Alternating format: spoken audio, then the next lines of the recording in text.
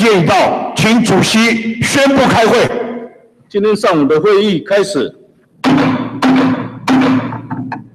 今天上午的议程由县府地震处、观光处工作报告及业务探讨。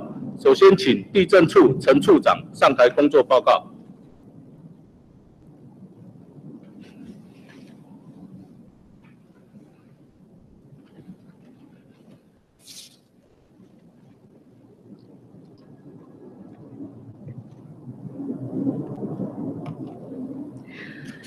大会主席。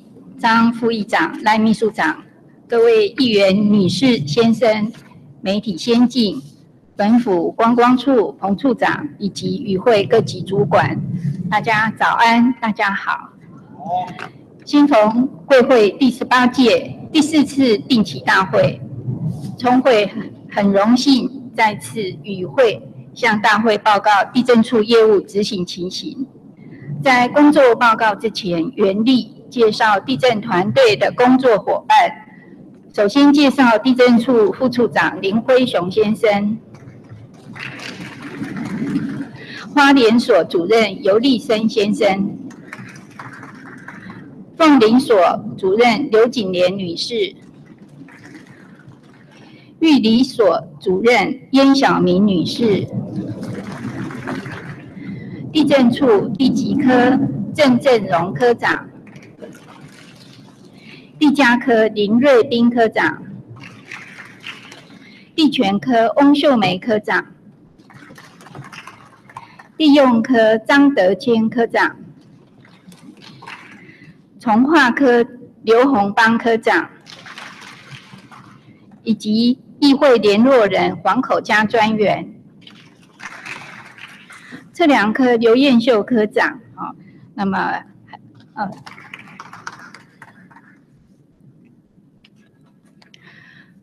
地震处的业务在工作报告表第两百七十七页到两百八十九页。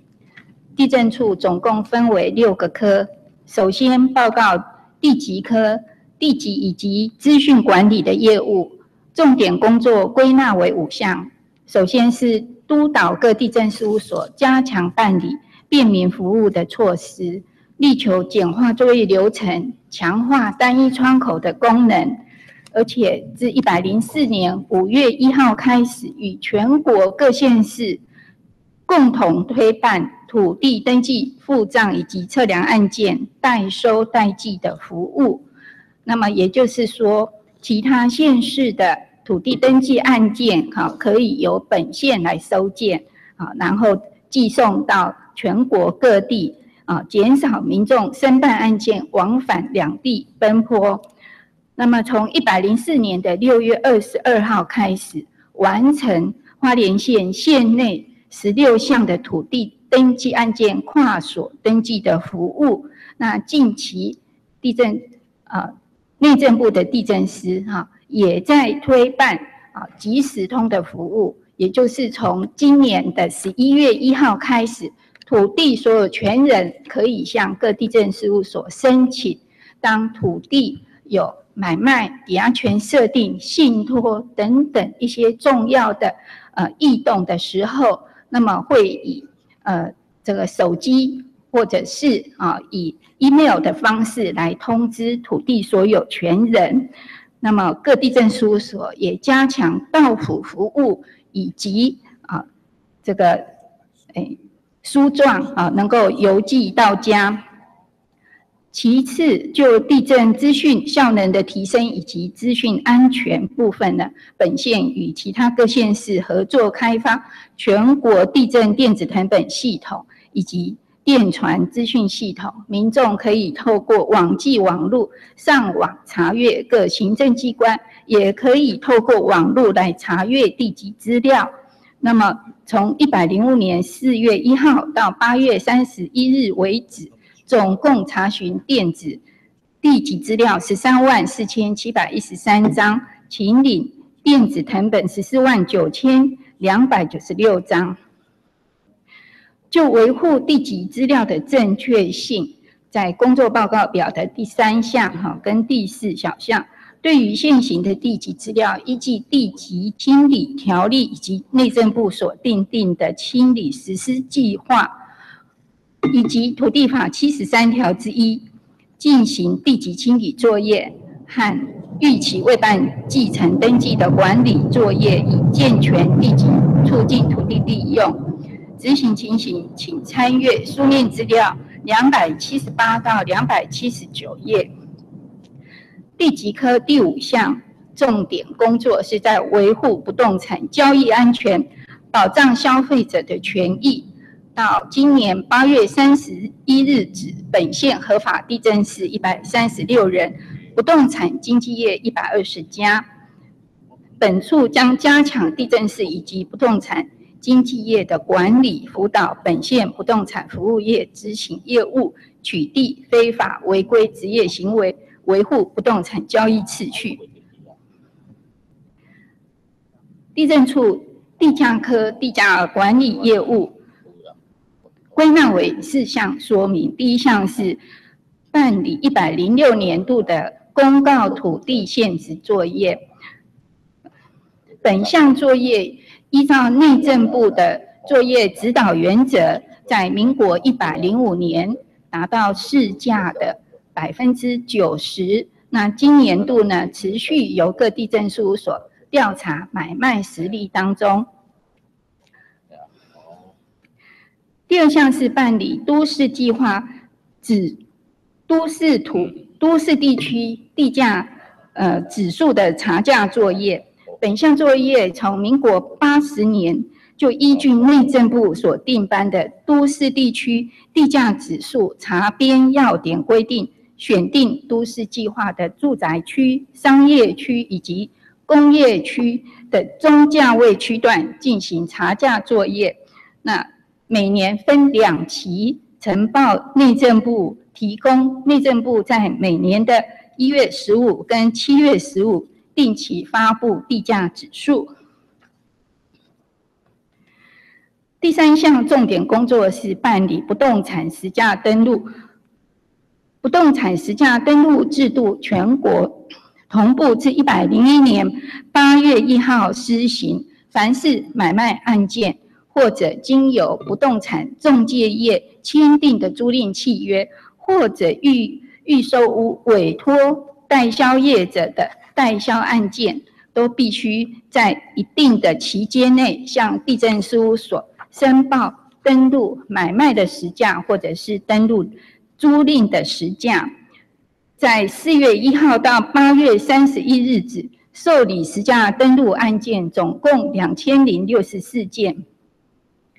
第四第四项重点工作是协助虚地机关办理公共设施的土地征收以及协议架构。在这段时间，总共办理土地征收案四案，案名是东部铁路快捷化。以及台九线拓宽工程，那以及与鲤鲤鱼潭管理站管理中心的新建工程，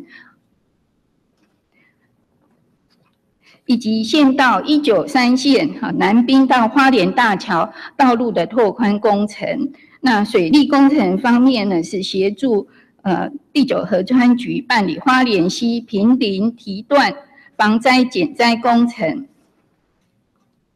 那也协助哈花莲市公所针对的华东部落的撤销征收以及废止征收，那么积极跟花莲市公所联系哈。那么花莲市公所对于内政部所要求的啊制作哎废止以及撤销征收的相关图集，好，那么县府会积极来予以协助。再来报告。地权科地权管理业务，本科业务主要归纳为两大项。第一项是现有耕地的管理，全县现有耕地总共八百三十五笔，面积两百五十四公顷。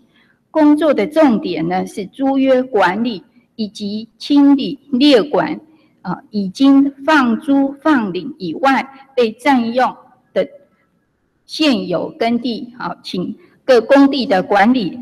呃呃，使用单位来办理拨用，那或者啊协助哎占用户，嗯，那么呃收取好占用的使用费。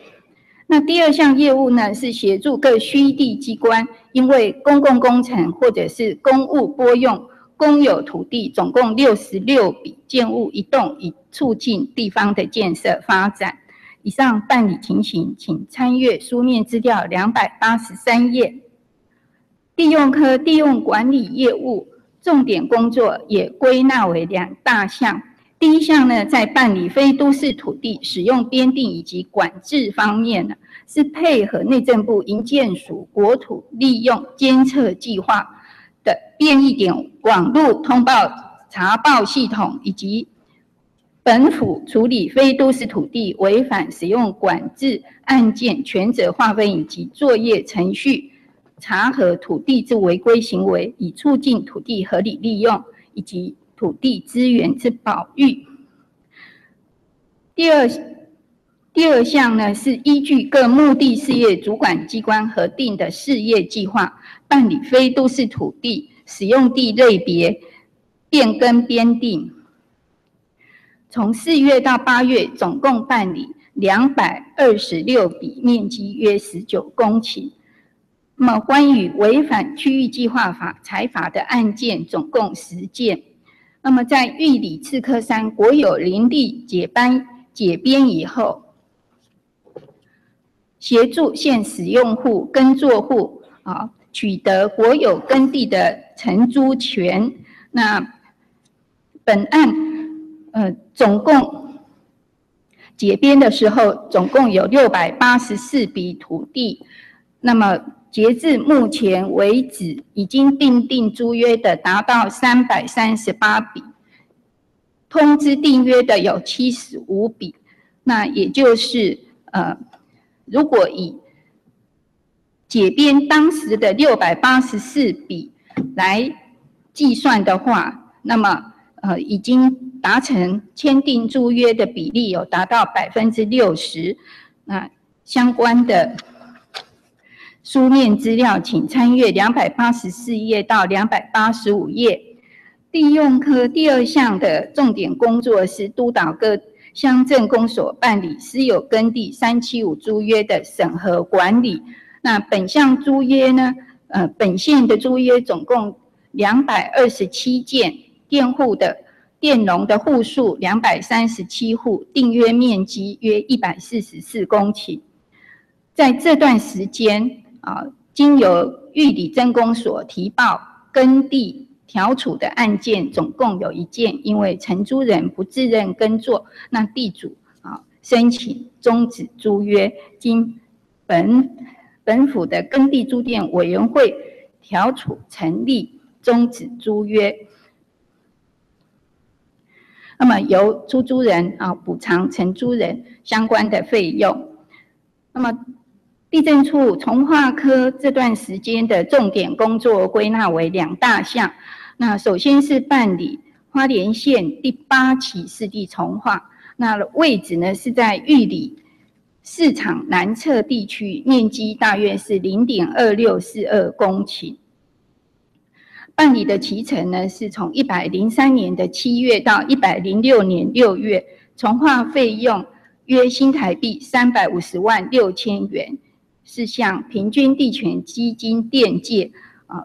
从化后负担的比例呢是三十七点五。那现阶段呢，在土地从化以后啊的分配公告啊完成，那公告期间，部分土地所有权人提出异议。现在啊，正依照相关的规定来办理调处当中。第二项是办理早期农地重化农水路更新改善工程。那本期是办理木光溪第四期早期农农水路啊更新改善工程。那么这个从化区呢，是民国五十二年办理完成啊，早年。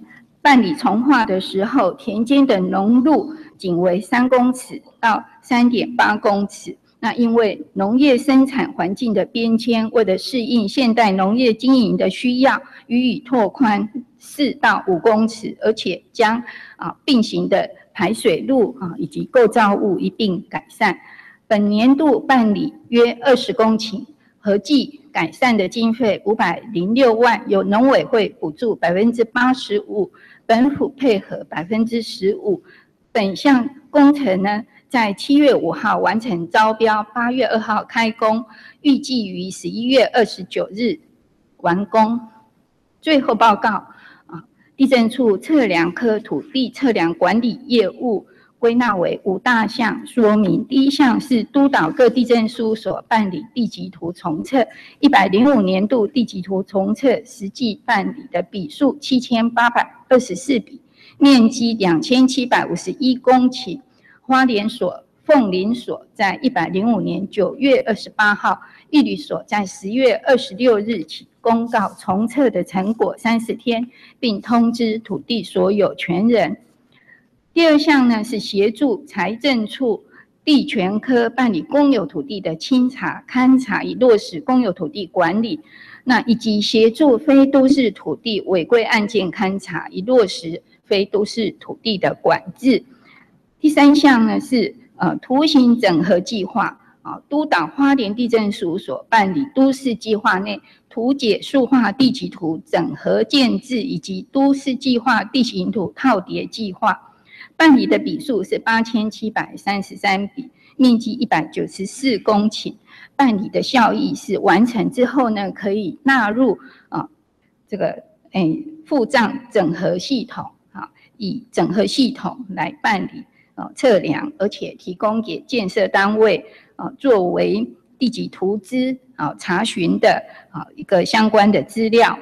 那第四项呢是呃依照都市计划以及通盘检讨，或者是呃都市计划的个案变更啊来办理都市计划专位的测定。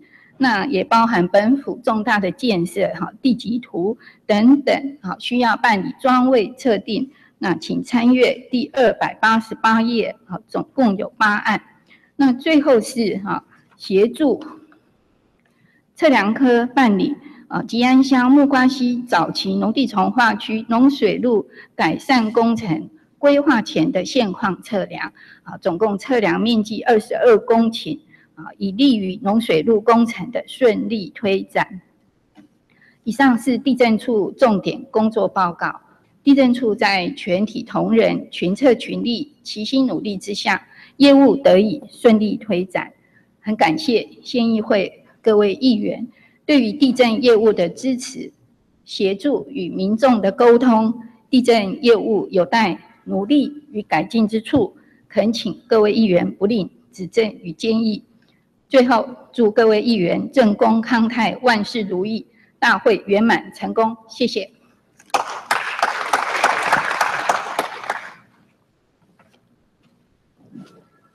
谢谢地震处陈处长的工作报告。现在请观光处彭处长上台工作报告。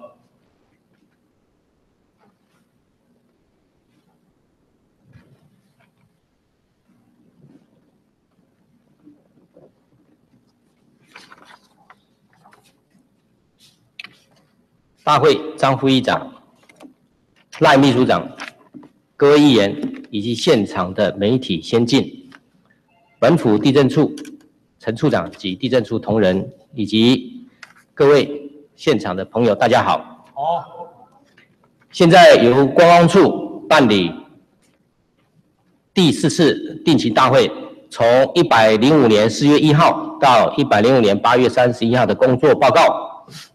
在报告之前，首先自我介绍，我是公安处副处长代理处长彭伟竹，并向各位介绍观光处的工作同仁。首先是专员林嘉玲，第二位是企划科科长庄君在，接下来是行销科科长林家昌。接下来是工商科代理科长陈建伟，接下来是产业科，因为科长陈永南因公出差参加铝树业的旅展，所以今天由资深的科长邱景川，呃，资深的科员是邱景川代理。接下来是我们资讯科的代理科长陈应环。接下来是发展科的科长杨慧茹。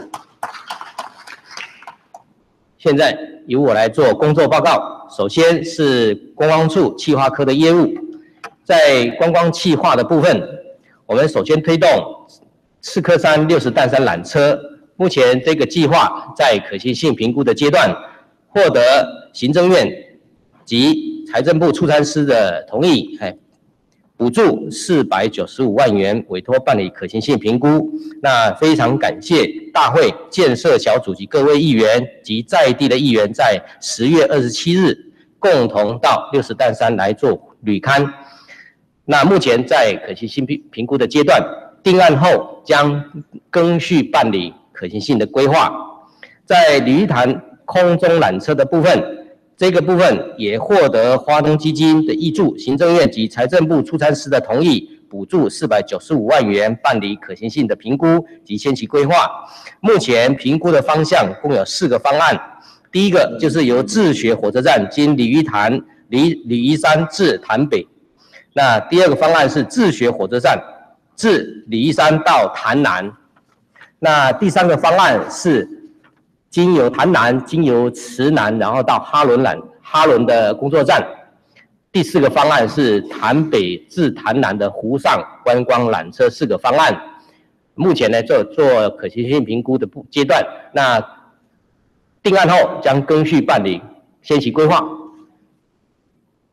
在国际讲包机讲座部分，那这个部分呢，经过花东基金的争取，已经有获得公安局的同意，已列入 A two 案来支持。那目前是框列两百五十万元。那在本年度本这个工作期间，已经有目前有十台那个香港到花莲的包机哈陆续完成。那接下来在十二月六号也有陆续啊，将来有。香港直飞花莲的班机会起航。那在广讲助旅游的部分，我们昨天到行政院开国花会，有争取开发开会。那经过讨论，也获得交通部公安局的支持。目前有六千八百八十万的列入 A two 的方案。啊，目前等会议记录下来以后，再跟观光局做讨论衔接的工作。离潭水域整体规划的部分，这个部分在元月三十号已经函请纵管处将本案呢纳入该处目前正在进行的可行性评估方案里面。那目前该纵管处已经委托一个工程顾问公司来办可行性评估及先期规划。那离潭的水务以及整个环潭设施的整体规划，我们。经过联络，都有纳入在这这个整个纵管处推动的方案里面。纵谷小火车计划，那我们经过跟国花会联络以后，国花会认为这个方案必须先争取到纵管处的支持。那我们跟纵管处经过联络，目前纵管处正在推动凤林曼城意向的计划。那我们觉得这个计划跟曼城的计划非常的相似。所以目前也跟纵管处在合作研议，将这个纵这一本案能够纳入整个凤林曼城计划之中来推动。观光重大投资新建的部分，目前有十个案件进驻在列管当中，其中有三个案件目前正在做环境影响评估的计划，另外两件分别进进行水土保持开工及办理开工的阶段。推动花莲运动观光园区计划，这个土这个用地计计划用地是在凤林环科旁边的国有土地。那目前在花东基金里面列为一类。那我们也将依照国花会的审查意见，将花莲县各体育场场馆活化的情形呈报到教育部。那目前由教育部在审审核当中。花莲市。公共自行车租赁系统的建制，那我们向环保署争取到四百二十万的经费来做可行性评估及前期规划，目前已经在其中报告审查阶段。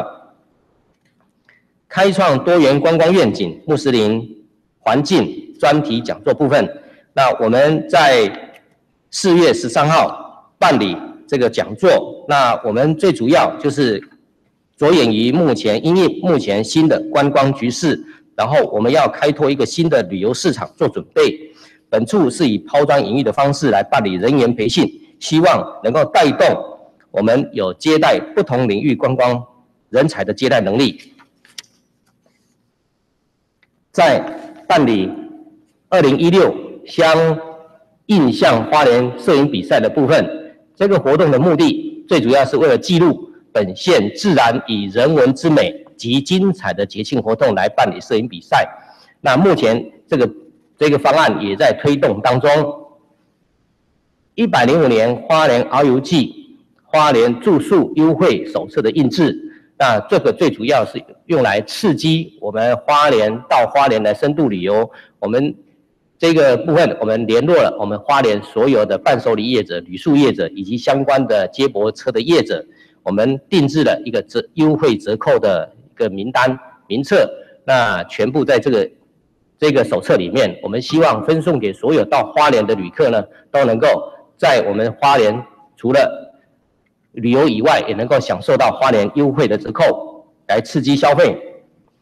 在观光产业产业科的部分，风景区的管理，其中自行车两潭自行车道，因为受到风灾影响。所以，除了立即抢修以外，部分路段目前均已清理完成。那海堤的施工，我们工程的部分要陆续要等到这个九二局的海堤施工以后，我们会陆续清理整个两台自行车道的使用。观光旅馆业及民宿管理部分，在一百零五年八月三十一日为止，我们花莲县内。合法旅馆的登记家数有一百四十九家，总房间数是七千五百二十七家。民宿的部分，登记合法民宿有一千六百四十五家，总房间数是六千三百二十间。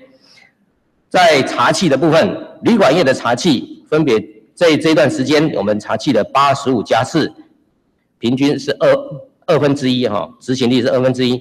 那执行民宿稽查部分，我们有一百五十四家是，执行率约十分之一。违规行政罚款的部分，目前罚款罚款金额累计是五百四十九万。在观光游乐业的辅导管理部分，我们县内登记立案的观光游乐设施有两家，目前经按规定接受交通部观光局的定期检查。温泉标章的使用及管理部分。目前我们花莲县内申请温泉标章的业者共有十九家，比上个会期增加四家。在观光行销业务部分，我们首先办理观光大型的活动，包括在今年七月九号到十六号连续八天，在花莲市办理二零一六夏恋嘉年华的活动。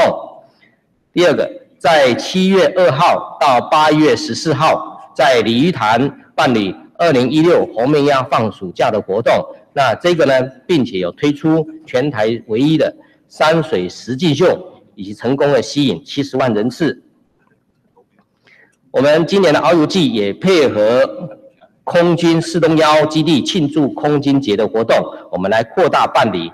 因为在这段时间内，我们成功的吸引喜好飞翔与摄影的军事迷到花莲来做观光旅游。那并且我们也赠送在所有的据点呃赠送花莲的观光护照，让他们在度假的时候也能够享受花莲的折扣优惠。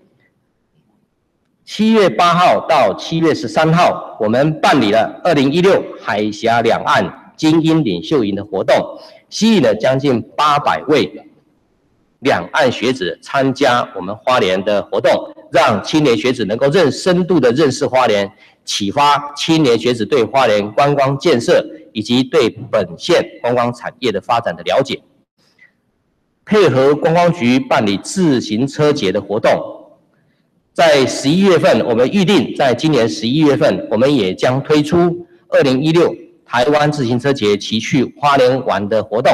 这个活动我们预定办理的地点是在我们的北滨公园，希望能够营造亲子旅游的一个环环境，为促进国际观光，那我们也配合日本岩手县盛冈山市啊盛冈市。所率领的盛冈山车来花莲访问，我们预计在十一月二十六号办理二零一六花莲温泉观光季活动。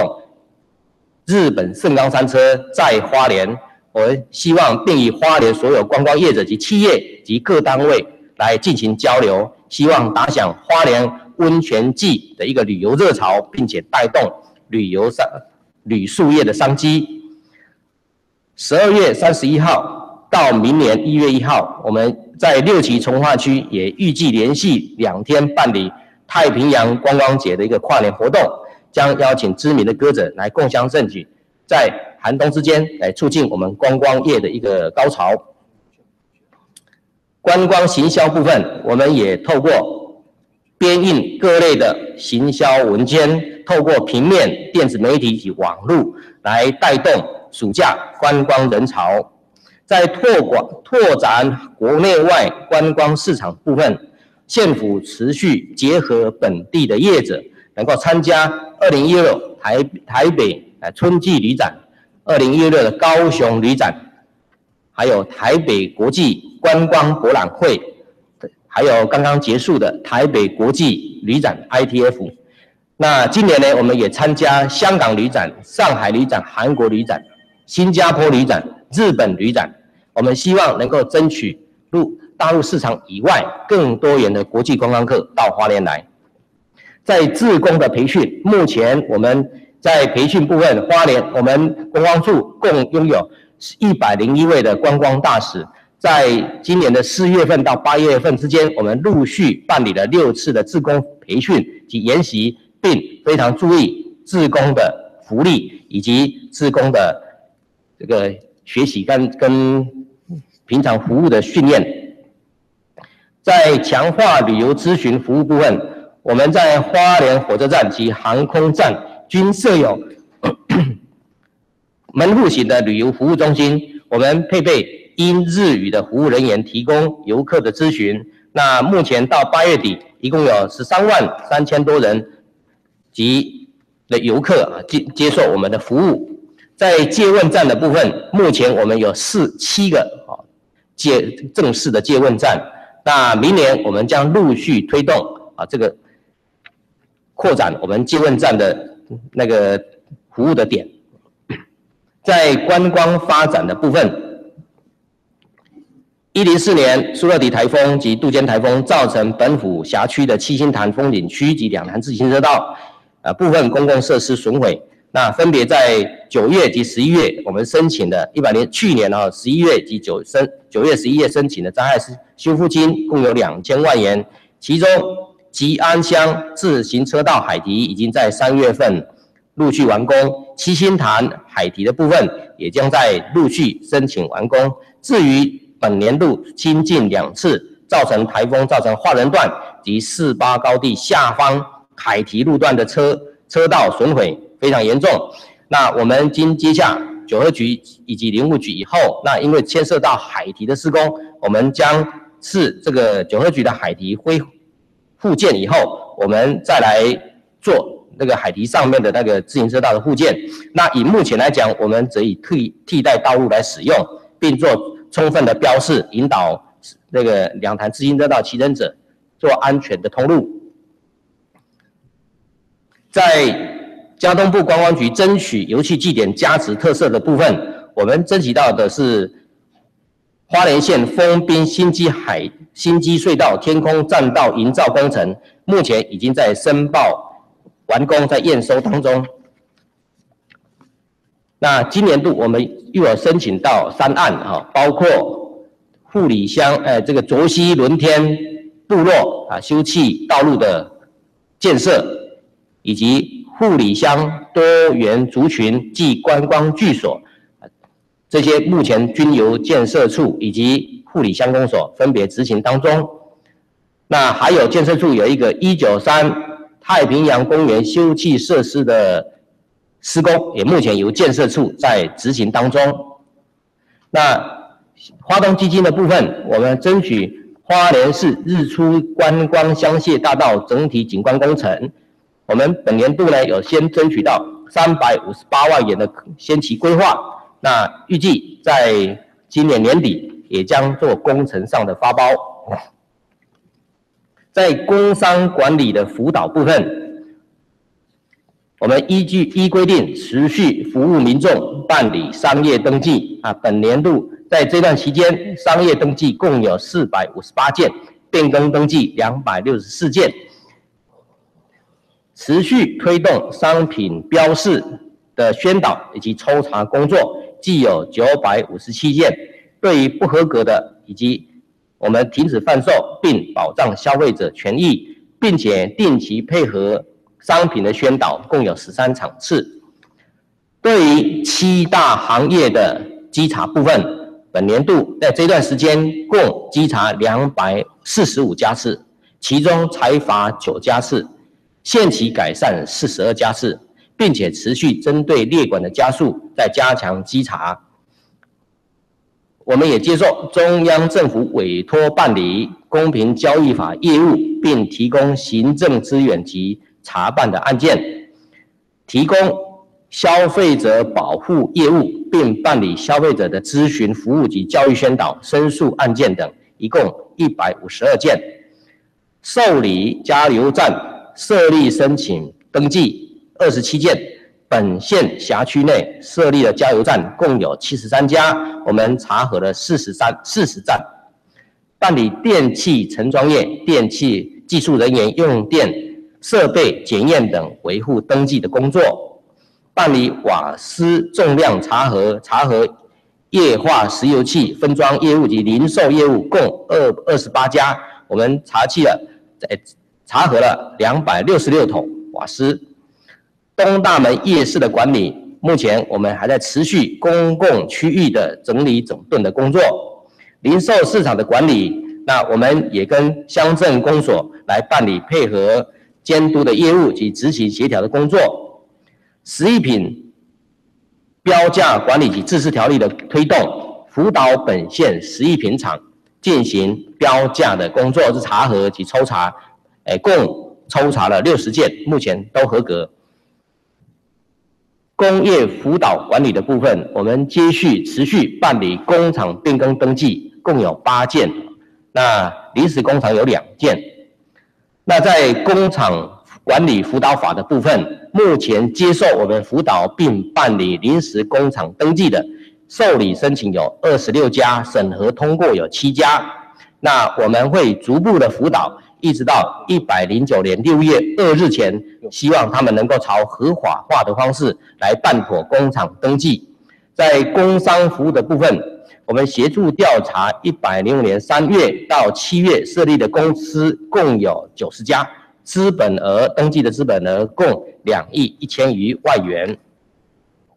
在产业辅导创新的部分，我们持续推动。地方产业创新研发的推动计划，也就是地方型的 SVIR，总共经费是一千余万元。那本次受理有二十七件，经过评选以后，陆续目前呢正将这个计划函报经济部啊，而且办理结案并通过的厂商将持续拨付这个款项。在资讯推动的部分，我们持续推建制。i Taiwan 的这个热点 WiFi 热点，目前在全县共建立了五百一十个热点。那我们将持再继续推动三百个热点，每年有推动一百个热点，来让我们花莲进入一个智慧城市的使用便利性。在强化治安的部分，一百零四一百零五年四月份，我们办理了这个防范恶意电子邮件的社交工程的部分，我们。抽试抽测了整个本府的相关单位，啊，目前均合格。对于不合格的人数，我们将进行一个小时的训练，啊，目前有七七十几位不合格，那我们都已经完成一个小时的治安训练工作。在推动为了达到公文少子化的政策，我们持续推动公文线上签核的工作。截至一百零五年八月底，全县整体平均上在线上签核率为百分之六十四点一，对于提升行政效行政效率有相当的注意。以上是观光处的工作报告，谢谢各位议员的支持。那及鞭策，我们将持续为花莲来尽一份心力。谢谢大家，祝大家身体健康，家庭美满。谢谢。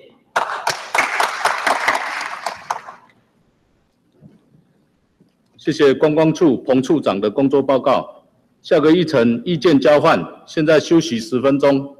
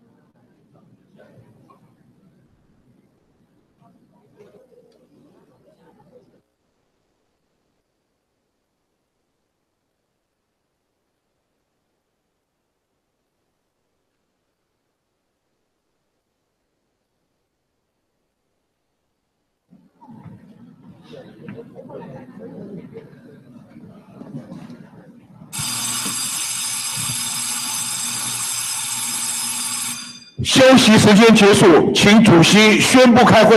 继续开会。现在议程意见交换，郑乾隆议员。谢谢我们大会主席张副议长，还有前面的啊两位局处长，还有与会的科长，还有本会的啊同仁先进，还有今天与会的记者圈女士，大家早哈。那本席首先针对我们观光旅游处的部分哈，那在我们旅游处里面所呈现出来的工作报告里面哈，那本席也没有看到我们针对。我们花莲宗教界的一些观光客的引导，还是充分的来使用我们所谓我们花莲一个宗教一个圣地的所谓的圣安宫跟慈惠堂，他们每年来到我们花莲的人潮哈，那还有我们慈济哈，慈济慈济的事业体的花祥地也是在我们花莲县哈，我想这部分都没有看到我们观光旅游处在我们工作。工作报告里面的提出哈，我想这一部分是有比较欠缺一点哈。那请我们啊旅游处啊，针对我们宗教的部分的观光客的引导哈，来充分的使用我们花莲好山好水的一个宗教的一个存在的事实。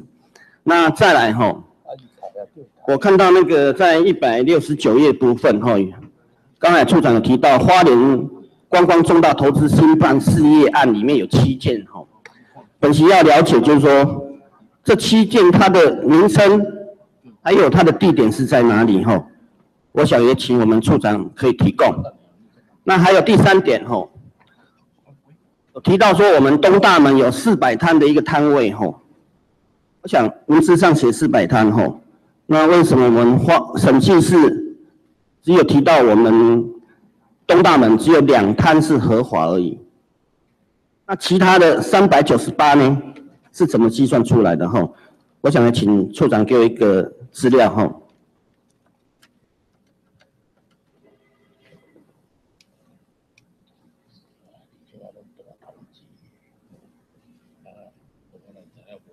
好，那接着我们地震处哈，我想哦，应该处长你你也感受到哈。我们公告地价的调高，吼，三年才调整一次。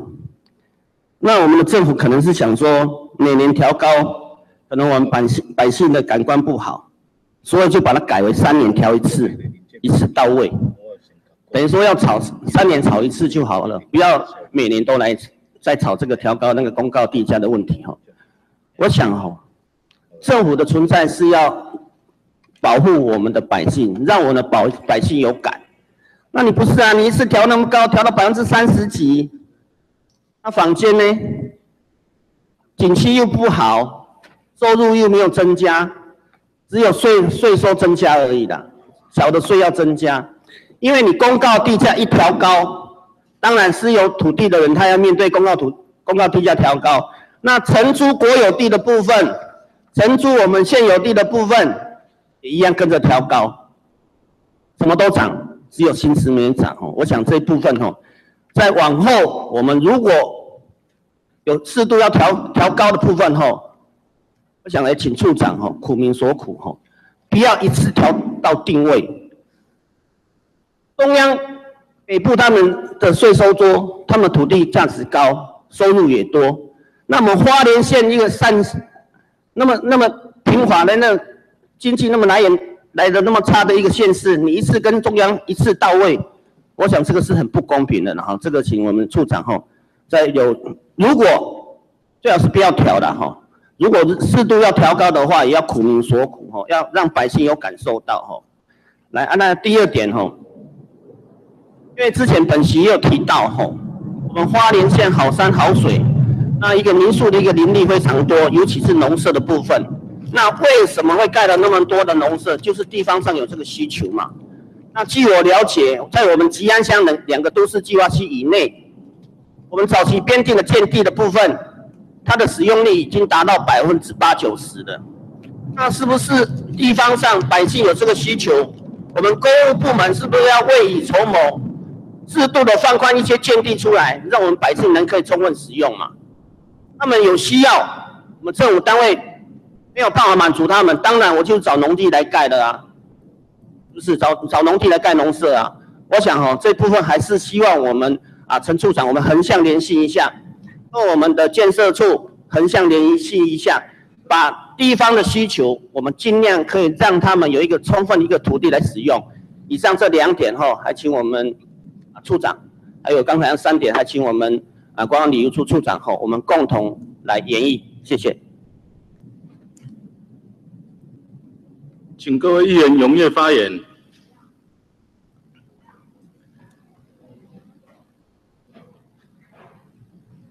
你不是议员。这个谢谢副议长啊。呃，今天有几个议题想跟两个处室哦来做讨论。首先是今天的报纸，不晓得我们地震处长看过了没有哈？这个，这是联合报跟这个中国时报今天其实最大的头版头条新闻，就是呃，因为涨过头，所以宜兰县的地价税史无前例重评哦，因为他们农地大涨了百分之两百三十七，民意反弹，所以他们现场认错，所以呢，物客的税也要退啊。那我在想，这个很多这个我们议员哦，同仁，甚至很多的选民都在关心地价税的问题哦。那既然宜兰县愿意来重新评议这样的一个问题的时候，花莲县有没有可能有这样的空间？也请地震处去跟县长来报告，有一些地方其实是不该涨的地方哦，是不是也可以来重新评议？我想哦，有些区域的这个涨幅其实真的是不合理的。就像那上一次好几位议员在施政报告的时候呢，跟这个嗯跟县长意见交换的时候，也是有提到这样的问题哦。那我想这个部分是不是请地震处这边呢转达一下这个我们的意见？那另外呢，我上一次跟民政处报告的时候，他有跟他们双方沟通哦，就是说原住民在恢复原住民原民的时候，好原民的时候，他所有的公家的证件，包括了健保卡，包括了驾照。包括所有的土地成本、房屋成本，都可以在户政事务所一条龙全部都办好。那我不晓得这个同时变更的这个程序，地政处有没有办法去跟户政事务所一起来配合？他只要恢复他原住民的姓名的时候，该改变的这个所有的证件的部分，包括成本的部分，可不可以直接在户政事务所一次处理完？因为我们现在鼓励有原住民恢复原名，这个是一个，就是因为很多人觉得哦，恢复原住民名字好麻烦哦，麻烦的不不得了，哈。因为像桃园市或者是新北哈都有哈。那另外呢，九十八年到现在，本席一直非常关心这个华东部落土地的问题，你们也知道，从头到尾包括了都市计划变更，然后跟谢先生、谢县长争取了这个几百万的经费。那到现在为止，已经很多人已经拿到了所谓的原住民。的这个呃权状的问题哈，可是现在卡在一个问题啦，我们在讨论嘛哈，就是三次我有跟这个处长来意见交换，就说花莲市公所现在因为地震师要求他要补正，可是补正的状况下，这个废纸征收哈，跟这个撤销征收部分要一起来做。那本来答应我是说，呃，前两天应该是把套图的部分，请你们这边跟他做配合，赶快处理。可是好像你们这里有出了一些状况，就是说他也觉得套图很难套，非常难套，所以你自己在套的时候呢，你都有遇到问题了，何况是花莲施工所，你们那么专业都会遇到问题，何况是他们啊？所以这大概这这几个问题哈，想跟地震处来做这个呃做讨论哈。那另外呢，这个光旅游处的部分哈，刚刚这个处长在报告的时候说，花莲县全县有十九家的。已经给了这个温泉标章嘛，哈，那这个温泉标章，那全县到底有几家合法的温泉业者？到现在有没有一个统计的数据？那另外，这个这些合法的同呃这个业者里面，因为你现在要办那个什么游行啊，我觉得那个非常好啊，其实越办越多这样的活动，其实可以吸引很多人的目光。尤其在十一月底的时候，刚好是变冷的时候，我觉得这个活动很好。可是这个温泉业者的良莠不齐的部分。觉得很好哈，这个很顶级，非常好。像潘议员的那个温泉就很很顶级嘛，很好这样。那可是有一些真的是环境脏乱呐，可是它也是合法的啊。可是你这个时候你要不要把这些温泉来分层次？因为你知道吗？消费者本来就这样子嘛。当你付出比较多的时候，你当然比较好享受啊。所以你有没有办法分级，让游客我来到花莲的时候，我要做选择，我有多少钱，我就住多少的这个享受怎样的饭店呃温泉的这个品质。所以在这个控管的部分，你们有没有做分级制，让游客去自己去选择他想要的一些层次？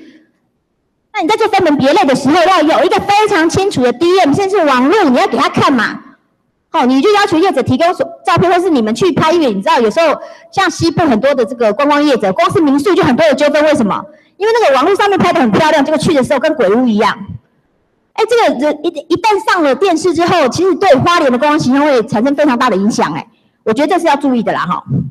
那另外就是鲤鱼潭是公共财哦，你刚刚说你们提了一意见，因为那个是属于政管处，所以呢你们就被中央这个打回去。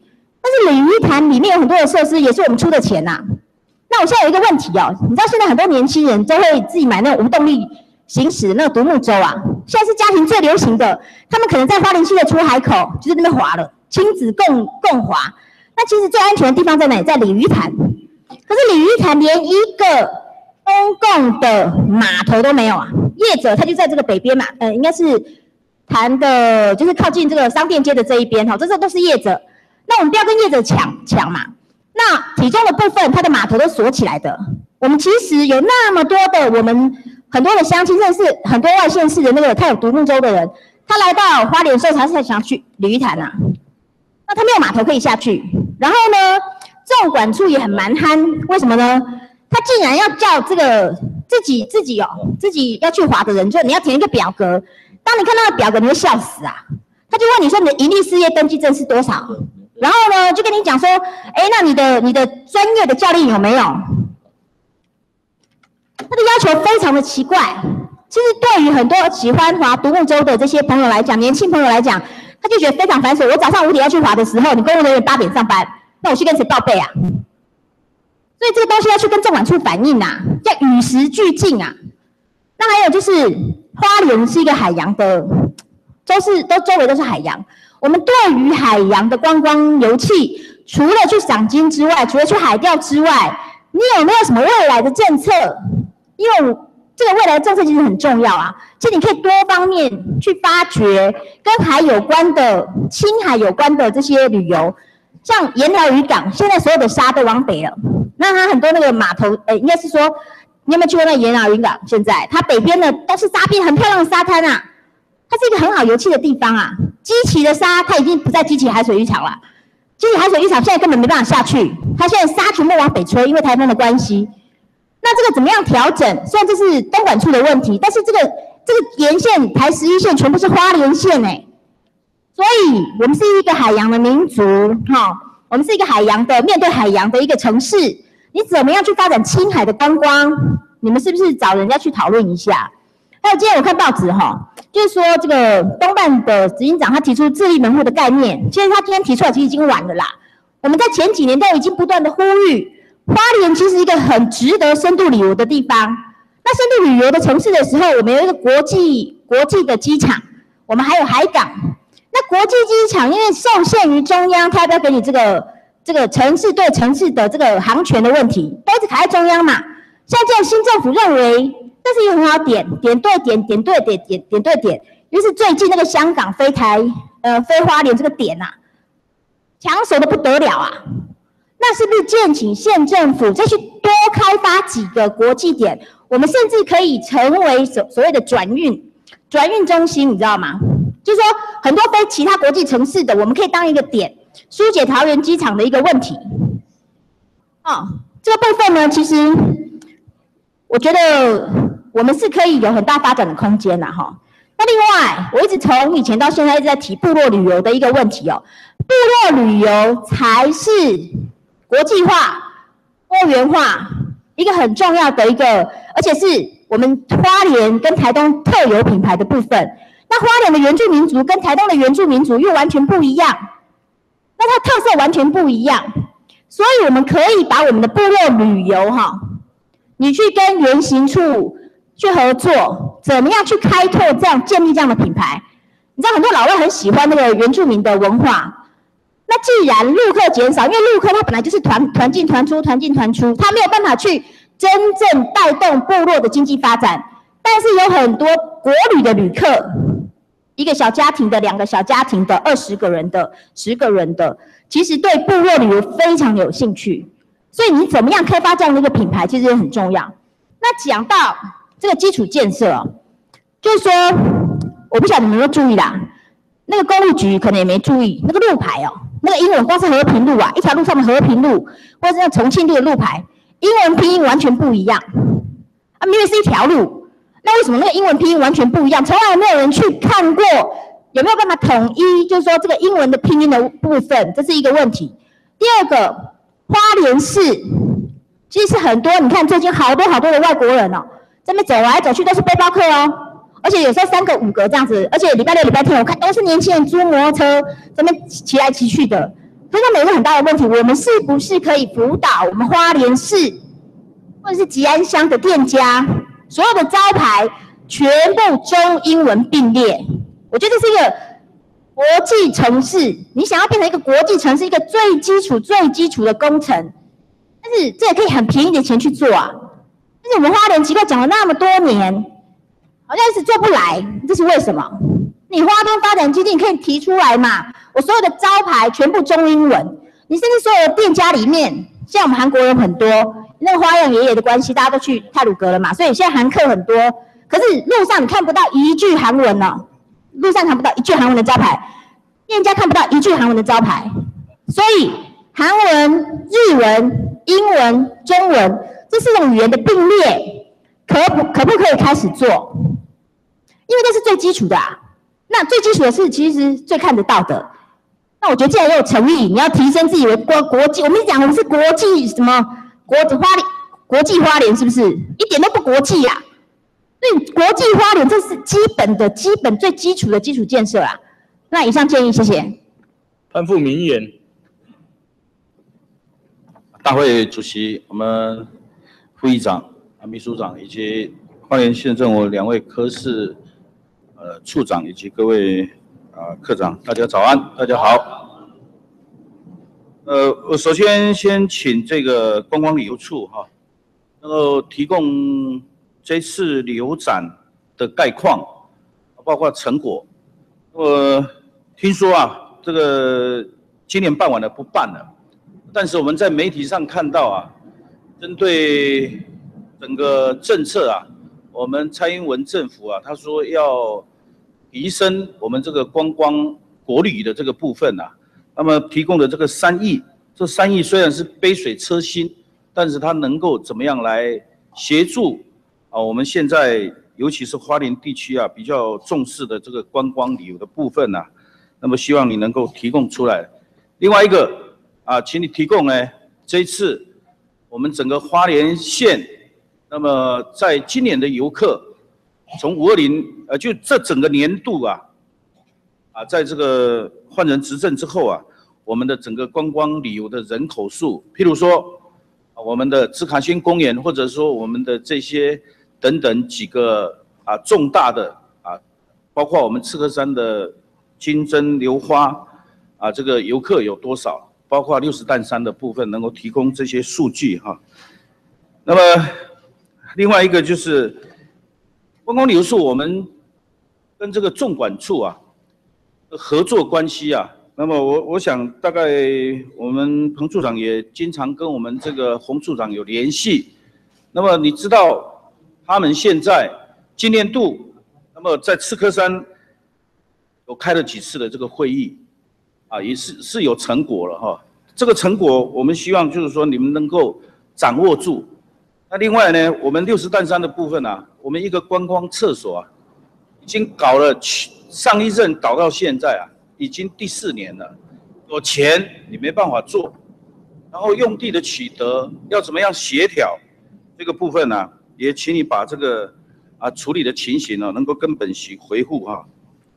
那么也把那个中央针对这个纵管处啊，针对地方的明年度啊几个啊这个观光的施政重点哈，那么已经已经列入计划，包括要执行的有哪几计划，请提供给本席。这是针对这个观光旅游处。那么接下来就是我们的地震处哈。我我这次在县政总执行之后，大概提了一下，很多的议员都提到，就是我们针对这个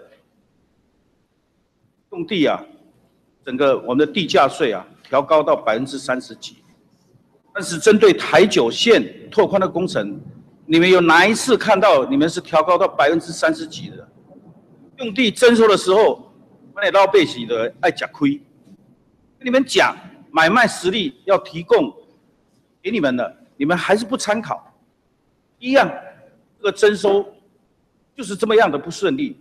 目前希望你把台九线目目前最北段，包括光复大兴段等等征收用地的这个征收比例，还有这个提供这个。价钱到底你是征收了多少？我一直在大会的时候跟你们讨论哈，希望说你们能够针对这个用地的这个征收啊，你明知台九线现在拓宽的工程从花莲一直开始到我们南区啊，它都是要固定的、既定的，是一个我们必须要做的这个重大公共工程。我们希望在这个区段上面，你们的地价评议委员。能够针对这几个地区啊，能够调高这个地价，使得跟这个市价是稍微一样的，然后用地征收比较不会有困难。讲了多少多少遍了，啊，然后然后这个公路局又要跟你们在隔空交战。公路局讲的，我钱都编好好的呀，叫您讲提高，只要您评议委员会那公货的好，啊，这种的调高你们不愿意调高，全面性的。一个很明显的一个反差对比，政府不作为，我觉得这个地震处是有必要哈，在这个部分呢，除了提供资料给本席之外啊，那么是不是啊，把这个地价税的这个执行情形啊，向本席啊提供这个资料？那么另外一个就是赤科山目前现在国耕放的部分呢，到底现在已经放了多少，放租了多少，还有哪些还没有执行的？在这边要跟我们地震处处哈，当然农业处今天没来，我也会跟这个农业处来做这个探讨。因为你国耕放现在啊，目前他们也要缴交的这个钱呐，一次补缴五年的这个占用占用补偿金跟缴交的这些费用啊，坦白讲，对农民来讲，五年征收一次的这样的一个课税来讲啊，对他们来讲是非常沉重的一个负担。但是呢，对于这个用地取得之后啊，到底你要用多少等折来跟他承租啊？这个部分有必要我们这个花莲县政府啊，跟农业处大家合作，横向的联系非常的重要。当然纵向的联系更重要，因为现在蔡英府蔡英文政府执政，我想处长您跟丽云的这交情也不错，是不是这个部分啊，应该也跟中央各部会啊取得联系的工作，然后在我们自己。花莲县政府的横向的这个联系的工作，你明知道我们今天耕地我们租好之后，他还要再缴一个五年的一个租约的补缴过去的这个五年的这个税金，那么用地我们要用多少等折，这个都有差别啊。你十等十二等折的跟二十二等折的那个价差是差不多差了一倍以上，所以说这个部分呢，有必要我们地震处跟农业处啊。那么做横向的联系啊，让我们的中央政府知道说我们农民的这个辛苦在哪里，所以说也请这个地震处把赤科山的这个国耕放的这个放租情形啊，那么提供给本席。那么我想刚刚我们也也提到了哈，我们邻近的乡镇，我们不讲别的，就把最近我们今天花莲县政府所补缴的这些地地价税啊，要缴交这么高的情形。是不是你也在会后提供台东县政府，包括宜兰县政府，他们目前现在执行这个啊用地这个这个税金的这个问题啊，也提供给本席啊啊，我们好让跟我们县长来做这个探讨，做一个比较。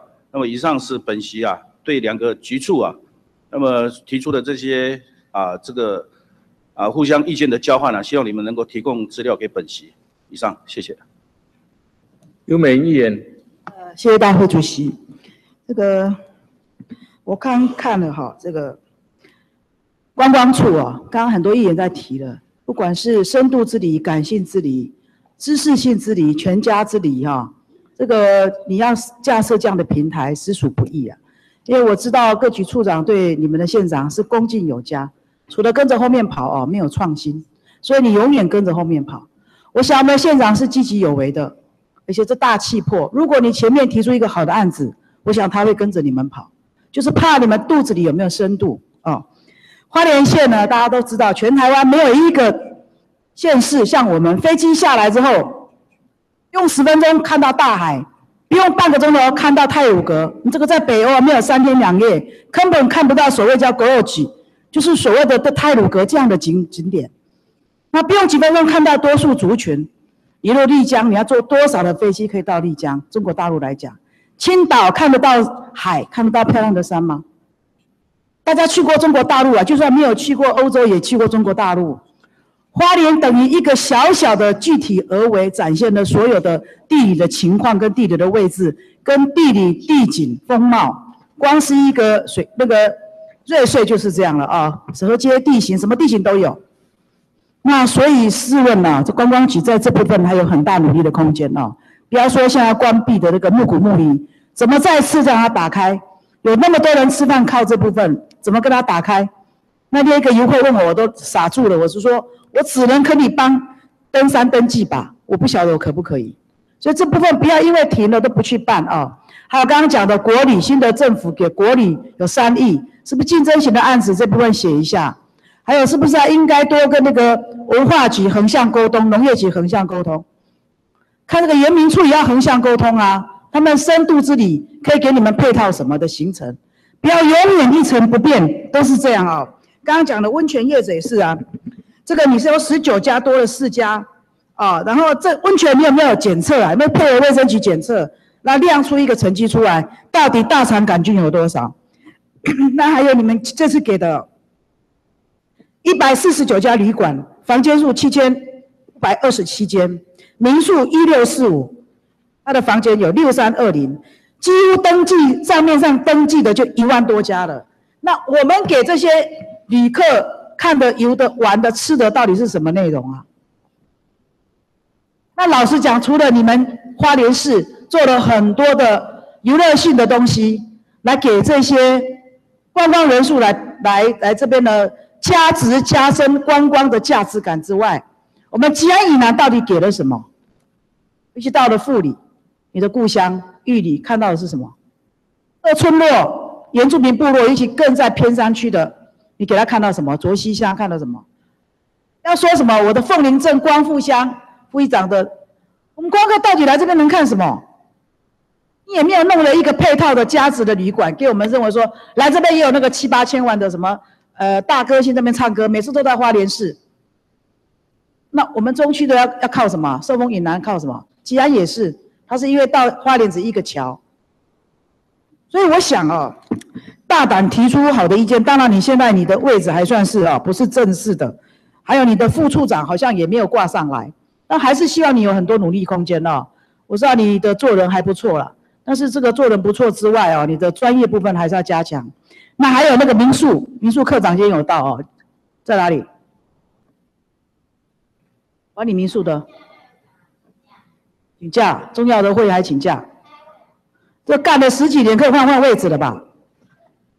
看来问他，你都被他架空了，油条的不得了。所有的民宿通通列出来，我把面积通通列出来，罚几间也给我列出来。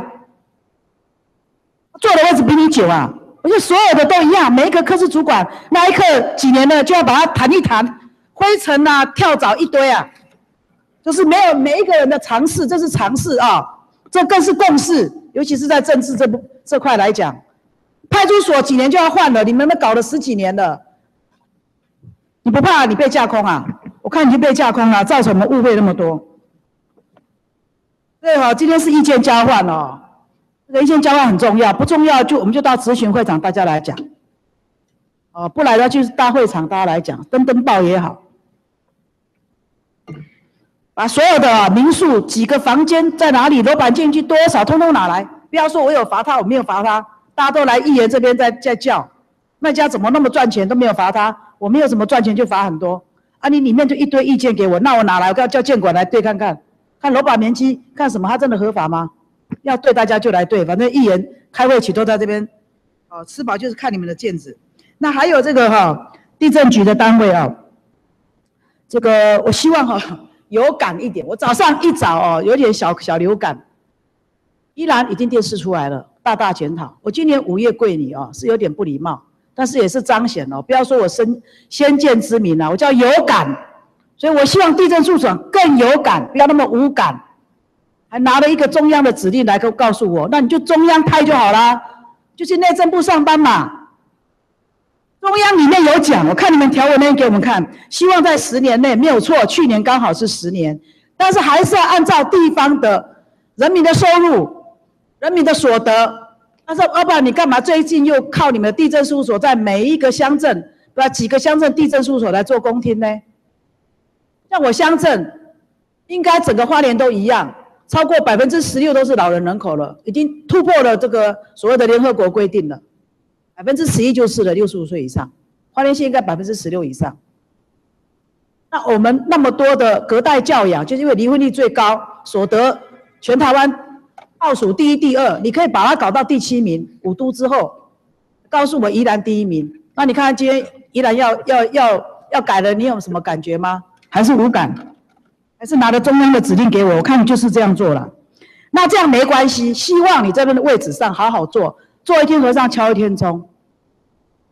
上两个礼拜有个假期，我打到你们贵处，三个科长全部请假，年假，然后问了，到最后问祭祀，问到科长，三个请假，问到最后你去日本，那谁跟妈咪挂叮当啊？你管的府外府内很多人呢，大家知道你出国了，大家都嘛跑光光。你们地用也请假啊，你们好几个科室在你带领之下，本来都很好的哦，到最后都变成了刚愎自用，墨守成规。中华民国公务人员考试进来，我们是纳税的人，被你们搞得一塌糊涂啊！驾临在我们之上，给你们意见，你们就很多很多，拿中央的拿着鸡毛当令箭吓我们。我我常讲哈，一流的公务人员，法条之外海阔天空；三流的公务人员，依法行政。就算是你三流，你法条看清楚，法条看清楚，依规定办理，也好好遵照依规定办理。不要说动不动说一眼我们会不会去这个地检署调查或这样，那就不要做到今天了。今天来这边做高考的，技不如人就不要来当科科室主管以上了。像变更编定。讲多久了？你们按照变更编定的要要义吗？没有，自己另外生哦。因为现在国家现在怎样哈，很重视国土富裕啊，所以我们要非常的谨慎。有那么乖哦？那你们怎么跑到第六名了？人家有第十、第十一的，台东就排第十一。那你们为什么可以排到第七呢？那还有地价，台一九三也好，台十一也好，海滨路也好，你们征收钱多少？潘富明是当过镇长的，没当过，但我也干了世界了。你们还敢这样子地价乱拼啊？像我们镇上的那一里，你看隔过两个里的地价拿来做公价来给我评定，还搞得我跑去你们跟你们地价科长，他手一直抖，我也不知道为什么在抖。你按照规定就好了，你有按照规定吗？你格林地价来评嘛？我们不是专业，都给你搞到专业了，为什么？家事无能呐，所以我希望哦，地震单位就是评估我们花莲县土地会涨或跌。你们如果县长一句话，你们就跟着去；县长没有讲，你就自己自己说怕抓去关，抓去干嘛？那就全部不要坐那边嘛。当当小小公务人员不会抓去关的，也不会抓去问。如果今天调查局或地震局的这个地检署检察官把你问倒了，你就是技不如人。他只是一个法律程序在问你，内容是你自己知道的。你没有饱读诗书还敢坐在这边吗？你们动不动跟我们说你们依法行政，依法行政，我们这些通通没有高考，可是我们知道老百姓在哪里呀？久了我们翻翻字啊，我们是烈士之无两字啦，小学毕业看得懂你在写什么。久了就帮你们训练了，把我们训练了，要不然如何坐在这边？你们总是这样，很奇怪。拿着鸡毛当令箭，变更编定，最糟糕，你何时变更跟编定呢？主动去跟人家变更编定啊，写了一堆理由，人家有五点就拼拼命的拿什么现在什么政府讲的什么国土计划什么什么来来封我们的嘴巴。有几个议员胆敢跟你们 argue 啊？你说，因为你们是学有专精，但是不要忘了，你们公务人员是为国家老百姓是负责任的。你们专业性呢，是拿来拿来把我们抹杀掉吗？你们专业性是来讲这个专业性的东西，要把我们议员给拼掉吗？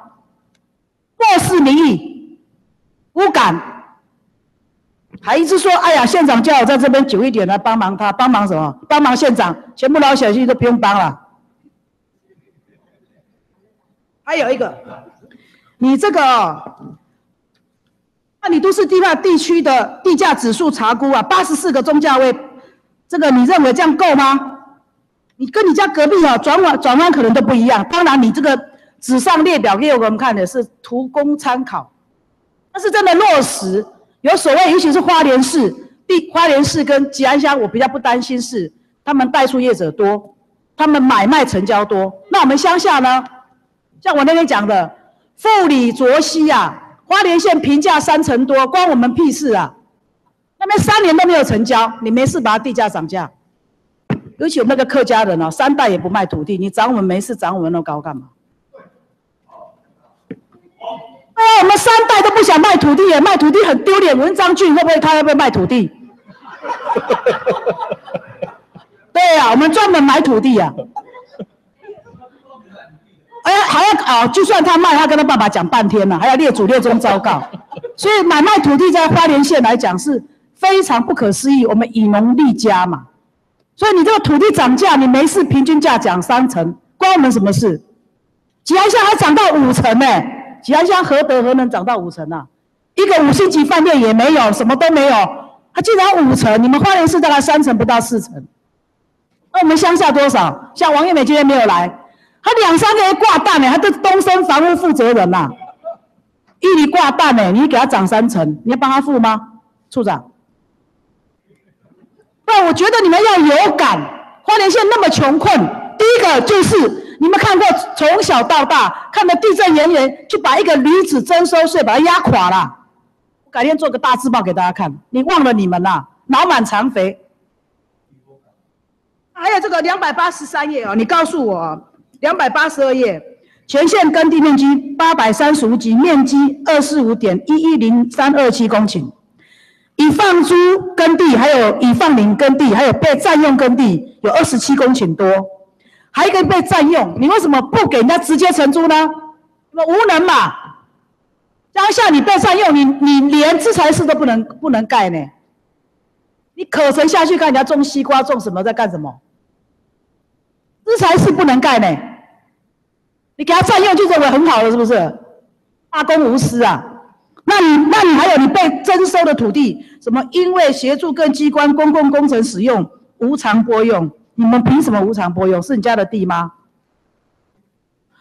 地震在进步，你很清楚。现在地用都是使用者付费，不管公家什么现有地，全部要收费啊！现在是三民主义统一中国啊，配合国防，配合什么地方建设，全部无偿拨用啊！花莲县那么穷，无偿拨用什么？像你凤林镇公所拨给乐色掩埋场都要钱呢，以现值来计算呢。今天是中华民国一百零五年十一月三十，离武昌起义很久了，也离三十八年撤退很久了，六十一年了，怎么还有无偿拨用这件事？扛他人之慨，全台湾这样，你花莲县就是不行。我不知道有没有全台湾这样。我早就知道无没有所谓无偿拨用这件事了。那你这个无偿拨用什么？那你对老百姓为什么斤斤计较？刚讲的，我跟你们这个土地啊，这个因为公共使用啊，把这个地价升高啊，跟潘议员讲的一样啊。你们到底要什么时候何年何月头脑死脑袋才会开始开？不能开就退休，不要带坏了里面年轻的。我看你们那几个年轻的就被带坏光光，保守。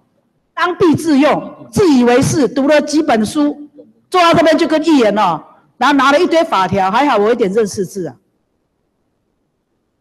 恶劣到极点呢？那那被你们这样子管下去，要到几岁才退休？还继续糟蹋花莲县老百姓三十年吗？这个本席今天哈话讲多一点，但是你们的地震地区是攸关全花莲县土地政策跟土地地价最重要的人。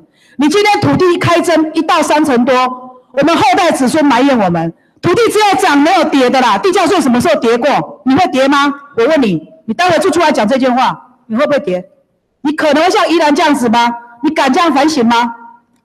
如果全花莲县是全台湾收入第七，你可以排第七，我没有意见。如果没有的话，你敢这样涨吗？你让我们给回去给故乡的人骂吗？而且我说过哦，公有地、堂产地、国有地，还有你们县有地，给人家当二次房东的，按照你们的方式去把那个租金调涨。为什么承租人家的土地有房子的人是最可怜、最弱势的人？铁路局可以这样子涨很快，糖厂也是，为什么？就你们自己地震局涨的，我们都跟着涨。有没有想过？你们每次开地震会议，这五个大地主都坐你旁边，包括你自己花莲县土地，你也都没有讲，承租土地的不应该涨，弱势中的弱势，人数少，声音小，你就漠视了吗？它涨什么意思啊？它地下有涨啊？它那个承租，它有租人家啊？是你们自己的事业目的地变更变地，你怎么没有事业没有了，还给他铁路用地，还给他当二房东继续收？陈处长，我讲过好几次，你有没有变更变地把它剪掉解编？几年了？铁路局八十年也没有解除编定，我家旁边就是。讲几次啊？无感，还做出很奇怪的政策出来。坏的政策比一百倍的腐败更严重啊！后代子孙必须承受这些啊！所以呢，我希望你们的这个承租户的部分要特别注意，不要一直涨我们这个二次二次租房，这个租人家屋子的最可怜，人家事业目的没用，就把它当成转承租了。这个以上报告，希望你们呢这几天给我一个答复哦。反正我咨询也快到了啦，就这样，谢谢。李秋旺议员。这个有美云一席话，让我茅塞顿开。居然骂人不带脏字，哎呀，佩服佩服。难怪叫有感一言。哎，我们议会里面还没有姓吴的，所以没有吴感。刘小梅叫刘感，或者李秋旺叫李感。这个观光处。哪几位科室主管到过中国大陆的，请举个手，好不好？呃，四位，四位，五位，啊，请放下哈。登长城，这个有一个证书啊，就哎，你登了长城，然后这张证书大概台币要一千块以上。到日本啊，北海道一个最北端的厕所。一间公共厕所，他也发了一张证书，说：“啊，你到了这个地方，但是当然这个要忌讳的，有价的哈。”我们常常在想啊，这个花莲呐，诚如尤美议员所讲的，一下飞机不用一个钟头，马上可以到这个世界级的景观呐——泰鲁格国家公园。我看这泰鲁格国家公园这些人也不长进，到现在都还没有收回。不需要收费啊，收费收费关他们这个领的薪水一点关系都没有，所以到现在还没有收费哈。不，现在在严厉要收费哈。但是各位到中国大陆去的啊，他们的任何一个景区都要收费啊，动辄超过一千块台币以上。我想。有演刚刚讲的那么多的花莲的人文特色景观景区等等，我们下飞机啊，不到五分钟啊，还有一个世界最大的潭呐，世界最大的啦，啊，这个导游都是这样介绍啊，世界最大的潭，结果连一张证书都没有，我到了世界最大的潭啊，这个大大大陆同胞啊，特别希望。拿到一张证书，特别希望照相。到景区，在那个石头旁边照张相。我到了，我拿了一张，我到了，这个全世界最大的一个潭，居然连一张证明都没有。我想啊，要思考的方向太多了哈，真的，真的啊，我们我们有很多地方啊，说这个大陆过去说大陆不如台湾，现在我们是很多不如人的地方的哈，真的有需要啊，这改进的空间太多了哈。那个谈到地价税的上涨的问题，这个变成民怨了。这个民怨一烧，其实始作俑者当然是地价评议委员会嘛，对不对？地价评议委员会评议出来的地价才会有后面的上涨嘛。那这些人，呃，这些人呢，啊，是不是应该要反省一下？这个名单啊，各位心知肚明啊，哪些人哦？那刚刚尤美议员讲的，我听得非常清楚，而且。让我非常感动的一句话：这些客家的朋友啊，他们从来啊很少去卖祖先的土地呀。那你涨他地价，你要他的命呐！他们克勤克俭，非常的节省啊，真的是要他的命呐！莫名其妙，你你你又要涨他地价，他他的土地三十年五十年不动，又要涨他地价，要克他的税。我们刘小梅议员说啊，这个是马英九时代的政策，我承认了，是马英九时代的政策，所以他下台了。那现在换蔡英文时代呀，这个不好的政策为什么还用啊？莫名其妙嘛。那是他的政策啊，让一个一个一个总统下台的政策居然还沿用啊，这不是很莫名其妙的事情吗？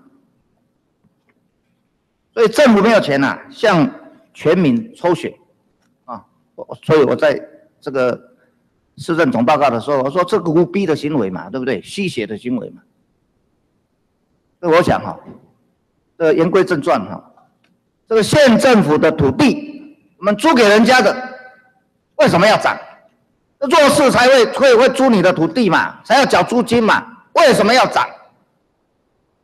好，县长说，县政府只不过多了二点一亿呀，收最多的是。中央政府啊，收了将近一千亿啊，那国有财产局的土地为什么要涨？在花莲县境内啊，那你涨了，他们就是二房东啊，就是在收租金的啊。那这些租国有财产局土地、租现有土地的怎么办呢？我讲哈，这个资料在咨询前请给我。国有财产局。放租的土地，县政府放租的土地啊，这些土地哈，到底影响了多少老百姓哈？我要这些资料哈，在总执行之前要给我。之前八月的临时会，我也要了一个资料，是有关退伍会的，结果啊，文呐跑到观光处去了，结果观光处不叮当了哈，处长没有动。我写的很清楚，希望八月底前把那个资料给我。后来我想奇怪啊，怎么不动了呢？我也不知道是跑到观光处，我打电话到地震处，处长不错，陈处长马上追。为了结果是在观光处，然后哎，这个你们又又又把这个文移到地震处去。问题是啊，八月底以前的事情搞到现在。总咨询了，我就等这个资料，没有，到现在还拿不到资料，不知道办了多辛苦的事情呢。我想件数很多是应该的了哈，因为退退伍也太大了，所以他他的土地太多了，所以可以见呐，这个机关多么庞大嘛。那当然，我个人的力量没有办法，才要求你们协助啊。好。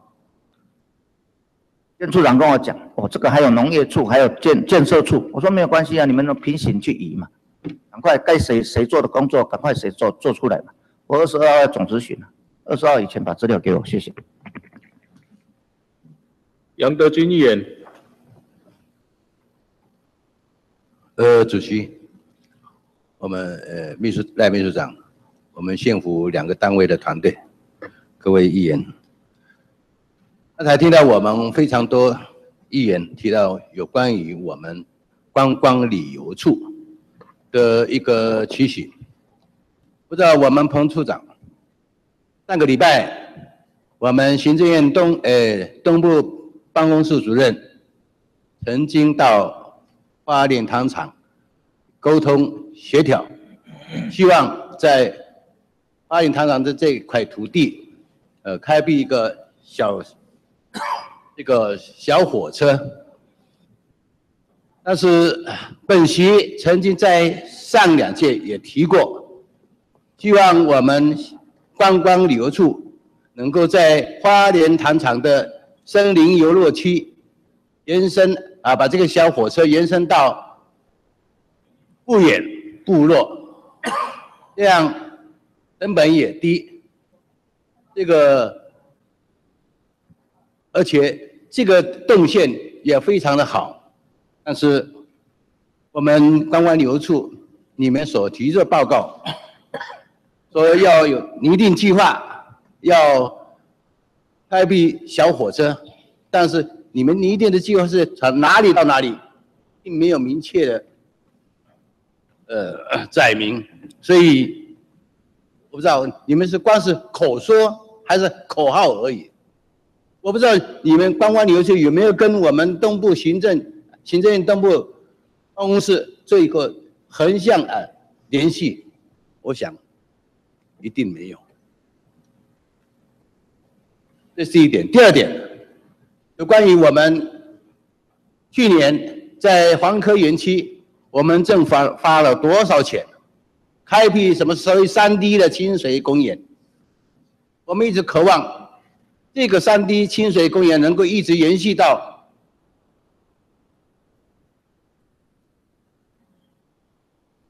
更久更久的，因为土地宽，那个福地也宽，但是曾几何止去年发了那么多钱，呃今年没有不在那边办。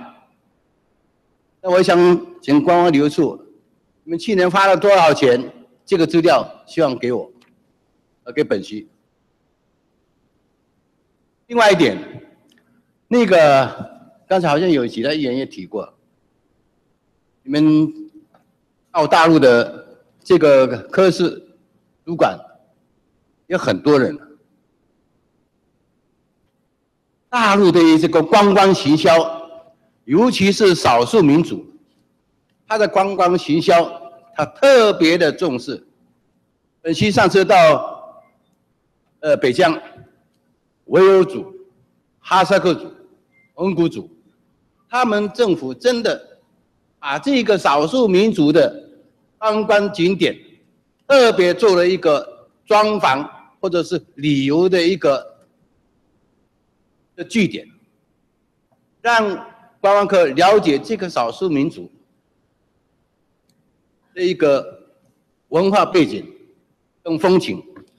但是我们台湾没有啊，我们花莲县是原住民最多的一个县份，但是我们观光旅游处。不要说观光旅游处，人民处，你们这个单位你做了些什么？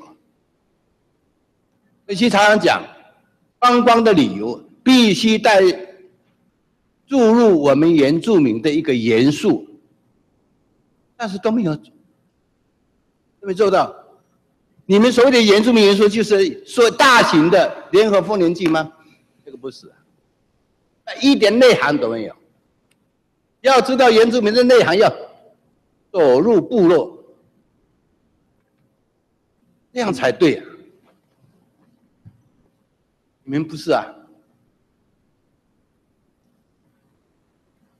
所以今天我对跟观光旅游处啊，呃，特别希望，希望你们今年丰年祭之前呢后，应该要有原住民部落。作为你们的一个环状的、环状的一个带状的一个这个旅游景点，不然的话，你观光再多，没有到部落，部落我们得到什么？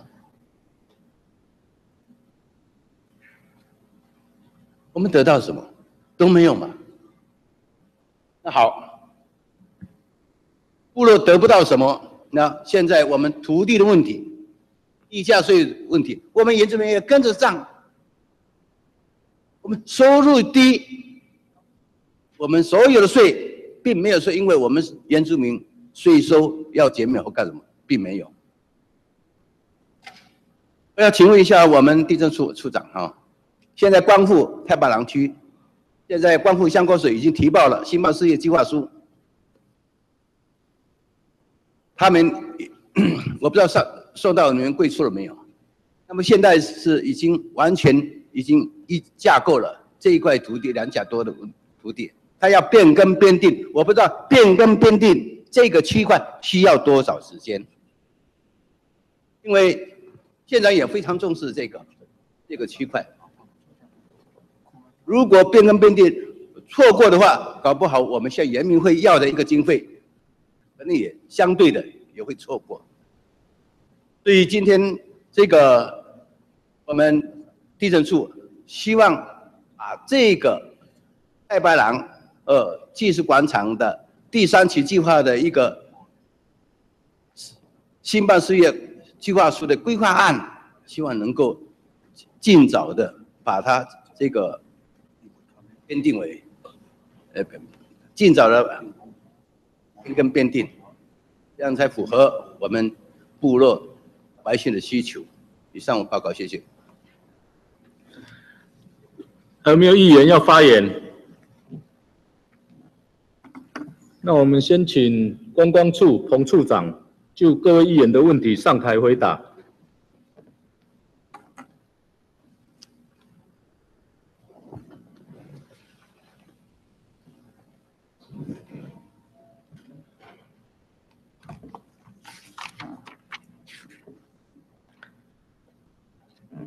各位议员，大家好。首先，我们我先依依照这个议员的问题顺序啊，我依序的回答。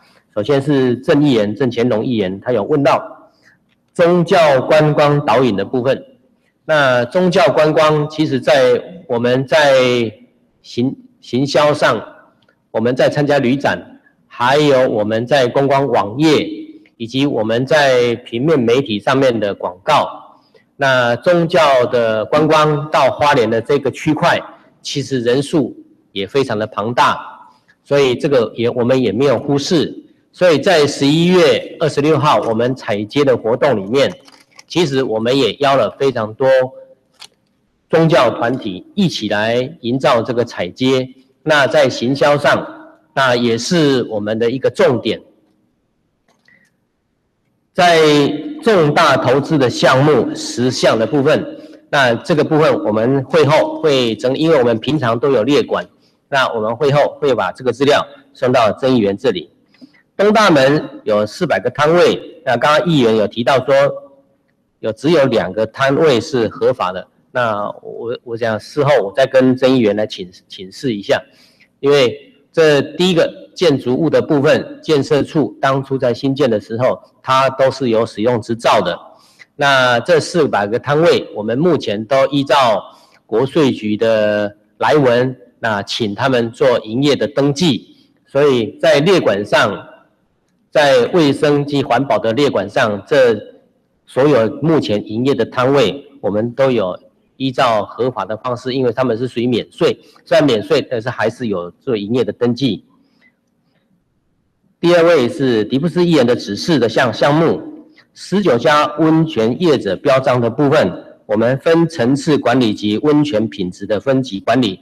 其实这些我们在我们在推动温泉专车的部分，原则上我们县政府补助就是有一定的金额。那它的在流程上，就是由旅客来选择这些温泉业者，他们有本身有本身在业者上温泉的品质，他们就已经有分层跟分价价格，哦，那还有他们旅宿的部分、住宿的部分都有不一样的等级了。那可能有一些是一次是一百块，那有一些是两百多块，那有一些。它的使用必须要跟铝塑要结合在一起，那这些可能都不一样了哦。但是，那在卫生管理的部分，我们卫生局都有定期的抽测，那以保障这一些温泉十九家业者，其实它是都是合法的。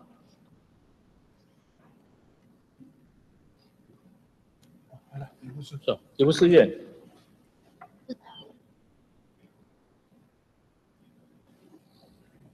哎，麦克风。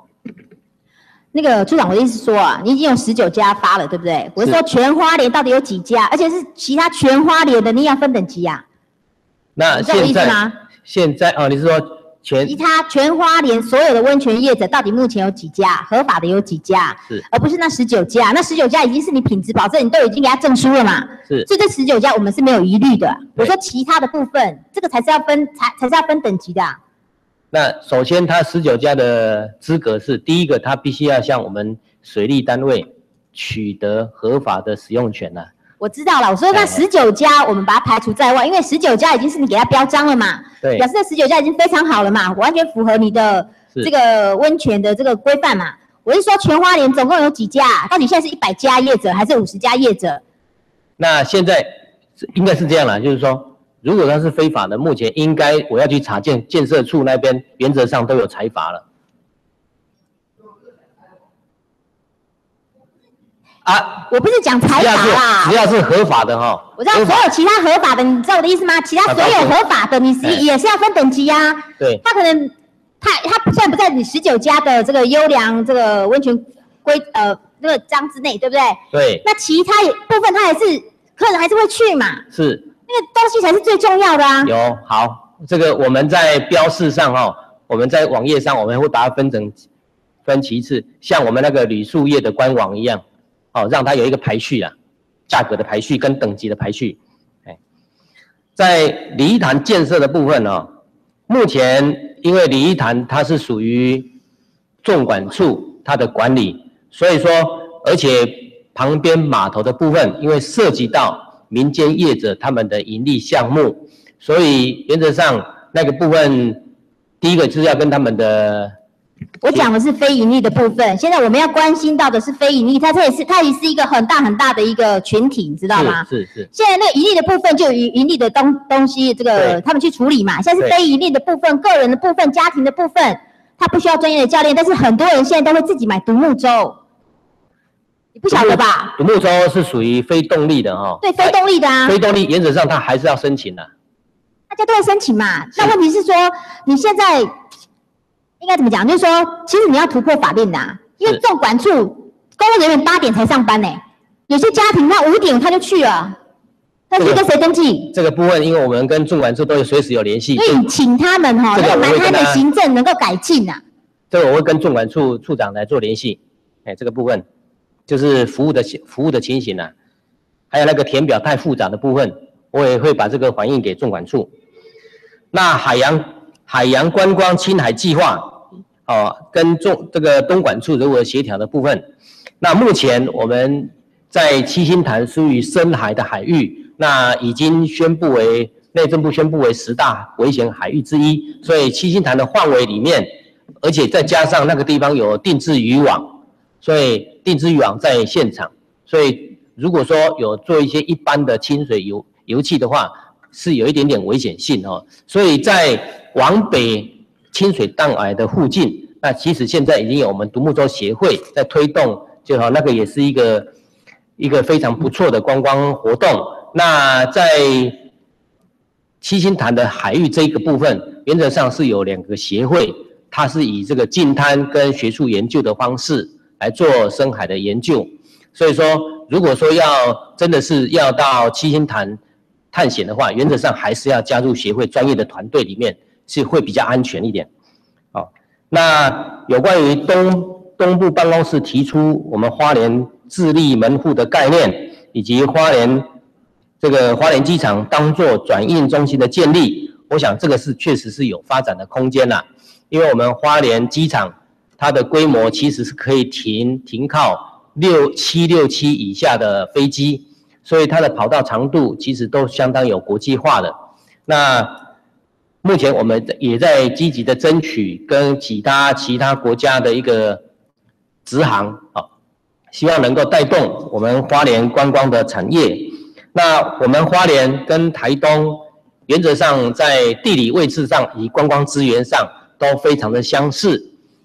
所以在今年十月四号，县长也带领我们观光处及农业处，还有卫生局都有前前往台东县政府做座谈，那就希望花莲、台东联能够联合行销我们的这个观光游憩的资源。那这个部分，我们目前也在积极在落实啊，我们随时不管是业者也好，我们。观光两两处两个县府的观光处也好，随时都有保持密切的联系。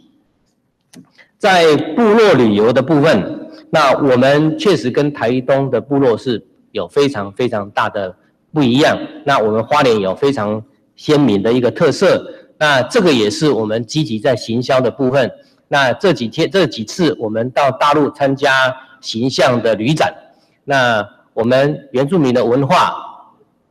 还有我们推出原住民部落旅游的深度旅游的那个套餐的部分，都是我们行销的重点啊。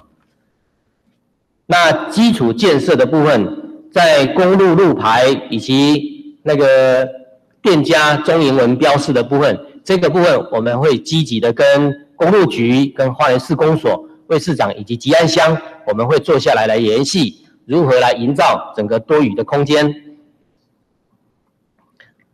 接下来是潘富明议员有提到提供 ITF 最新成果的部分。那 ITF 的旅展是我们国内非常重要，而且每年都是一个最盛大的一个旅展。那这个我们并没有停止参加的计划，我们和而且还会持续办理，因为台东哎高雄旅展跟台北的旅展一直是我们花莲观光业非常重视的一个。旅展，那每年在参加高雄跟台台北的旅展，对我们花莲的销售那个销售量都非常的增增加，所以这个是我们非常重视的。那会后我们也会诊，因为昨天刚结束，那我们也会会诊各业者目前销售的情形，来会后来提供详细的资料跟议员报告。那有关花莲旅游人次的部分，我们目前已经会在已经在。每年每个月的十五号，我们都会统计上个月的累计的观光人次。那其中有涉及到农业处的，不在我们统计项目之内的，那我们也会征询农业处跟玉里镇公所、护理乡公所来提供有关六十担山、赤克山跟赤卡轩哦那个游憩人数，因为我们的统计人数都有一定的格式跟位置哦，都。那其中在这个统计项目之外的，我们会来联络相关的主管单位来提供。那会后整理这个资料跟议员报告。有关纵管处在投资在我们花莲南区以及六十担山的部分，那这个部分呢，我们会后马上跟洪处长再做联系，并且能够向征询有关明年明年度纵管处将开发我们投资在我们花莲。南区哦，还有重管的那个重股里面的这个重大计划，我们会请他会诊，然后会后来提供六十担山厕所的部分。那这一段时间，我们密集的跟申陈情人来做联系以后，那因为本来是在本来设置位置在内侧，那后来陈情人希望能够延伸到路边，那路旁边以后呢，因为土地是玉里镇公所的。那我们也协调护理乡公所跟玉里镇公所来拨用这个土地。那玉里镇公所联系的结果是说，他们另有计划。那这个部分呢，后来我们就跟陈清仁也协调过。那陈清仁说，那这个部分目前呢，请我们先暂时搁置，等他想清楚以后。潘富明言，问题哈是处长，没那么困难了哈。你我我一直讲就是说。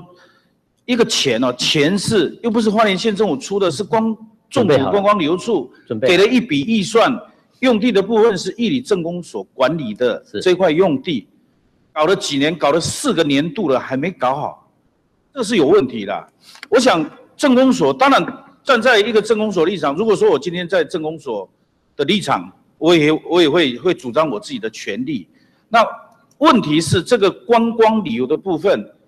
我我想哈，大家应该可以打破这样的一个一个，要一直一直觉得说那个不是我我我我义理正的事，这个观光旅游处应该要积极的协调吉马屋啊，要有钱了，然后政县长的政策就是说做一个观光厕所，然后也突破了建管处的一些限制，怎么样来做，甚至拆不会很困难，要花了将近两百万，县政府有这样的钱吗？没有嘛。那没有这个钱，我们今天好不容易去找到这笔钱，你又说陈情人的意见并不是陈情人，而是所有到花莲来旅游的，包括我们自己花莲县民都可以使用的观光厕所。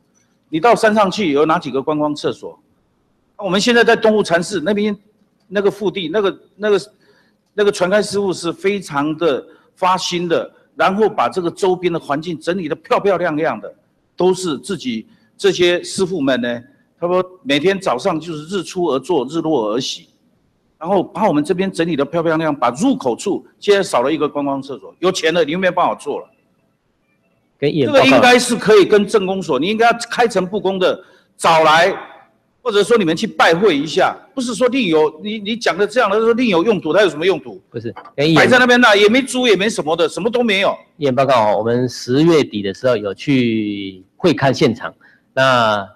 现在观光景点非常的棒哦，那个地方除了东湖禅寺旁边以外，那它现在在底下那个上坡的地方，它现在正在整理新新的一个油气据点。这个这个大家看到成果了哈，我们希望就是说，有中央住在花莲的单位，钱也编好了，一个年度再拖过一个年度，现在年度又要结束了，你还没有办法执行。我跟你讲，你当然说用地交给。护理乡公所是有问题的，那就直接交给就由政工所这边来主导，由你公方旅游处来主导，就是说啊，你做的这个东西，当然每个人都要面子嘛，都要功劳嘛，是，那的就是义理政工所把这个用地的部分呢提供，等你有另有要途用途的时候，我们把它周边的这些东西，我们还给你都 OK 嘛。好，啊，这个这个就随着这个财产整个移交给你 OK 的吧？我们会来争取。哦，不是要争取啊。我是希望说推推动这这个这个不是推动，一定要执行啊！不执行的话落实在落实在目前它新的一个休息的景点旁边，让这个观光厕所会更实用。哎，所以我讲哦，今天哦，就是说这个横向纵向的联系，你平常跟人家做好公共关系的话，我我想这只只是一个概念上的问题。你说用地拨给护理乡公所是有问题，那不要拨嘛，就由政工所跟你们纵管处。共同联合发表声明嘛，说我们就是提供给观光旅游客，我们没有因为是义理的关系，就这这么简单的事情。问题是你有没有去做？你在这件事情，我想我是站在义理的立场啊，我也一样哦。不管是你今天富里乡也好，今天义理政工所也好，我们提供的就是给一个游客，包括我们善用中央的每一笔款项嘛。好不容易争取到的钱，结果你们现在搞搞不定，这很奇怪啊，这个要检讨的。是。哎，不要检讨我这个负责的哪一个哪一个哪一个科室主管换啊？刚刚我因为已经讲的，做不好你就换这个位置，不要做太久啊，太久了就是藏污纳垢。好的，哦，我我想哦，今天哦，把这个位置哦，会后哦，我我想你应该要做个科室主管的一个调动一下，否则一个人站在那个位置太久了，打太极拳了，熬油条啊，这这样的一个一一一个主管待太久的位置就会变这个样子。这我会努力去协调，那并且推动这个案件。那有关游议员游美云议员有提到木古木语重新开放的部分，那这个部分我们原则上是尊重那个当地原住民的意见，哈，来推动。目前呢，原则上进入这个山区采用步行的方式，游客那依照内政部入山的管制，每天是八百六百人。那目前原则上，它还是属于用青山活动了。国里三亿元这个争竞争计划的争取啊，那昨天已经在观光局有召开相关的会议，它有拟定的一个方向。那原则上这个还是草案，昨天有开协调会，也就是他以这个曾经招待大陆旅游的客人为的业者哦来做对象。那这个部分呢，还没定案啊，就是有关国里的竞争计划的部分。温泉的检测是否符合标准？目前这些都是由我们卫生局来推动。那我们合法的这个十九家业者以及其他的温泉业者在抽检上，哎，目前呢都是符合规定的。在给旅客哈到吉安以南以及观光价值的部分，那我们除了在积极推动深度旅游以外，那我们也跟台东县政府哎在合作，希望透过民间的力量，在花莲呢有八天七夜的行程，四天三夜的行程。那最主要就是希望把客人不要只留在花莲的北部以及台东市区，我们是希望把客人透过我们合理的行程安排，哦，能够带动到整个花东纵谷去旅游。那我们也印印制这个观光护照，那观光护照里面。所提供优惠的业者，就是包括整个花莲的前线，那所有伴手礼以及其他的旅宿都有适当的折扣来作为诱因。在产业科哈，有关于这个旅宿业的管理的部分，我们还是以积极的在推动。第一个就是申请的部分，在民宿申请的部分，原则上我们现在都没有做总量总量管制，只要是合法的业者，我们都会受理申请。那其他集合的部分，原则上还是我们是采被动了，希望就是在民众有检举的案件，好，那我们就会去稽查。那我们原则上不采用主动的方式，因为观光处人力有限哈，那权限。铝树叶的数量非常非常的多，所以我们这个部分原则上就是遵照有议员的指示哈，要罚就罚哈，那原则上还是会依照法规来处理。李秋旺议员有，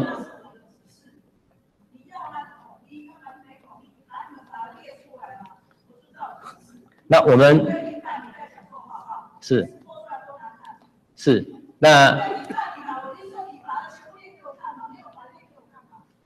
好的，好的。那我们在稽查的部分，我们都有按照规定哈，每个月都有会诊稽查总表寄到审计室。那我们会依照这个资料来提供给大会。李秋旺议员有指示到观光景点收费问题以及观光景点呢的核发证明的问题。那我们有关于部分的景点哦。它最主要收费的问题，是因为景点里面，那我们花莲是一个重谷地形。那我举一个例子，比如说七星潭地区哦，它是民众的生活圈跟景点是结合在一起的。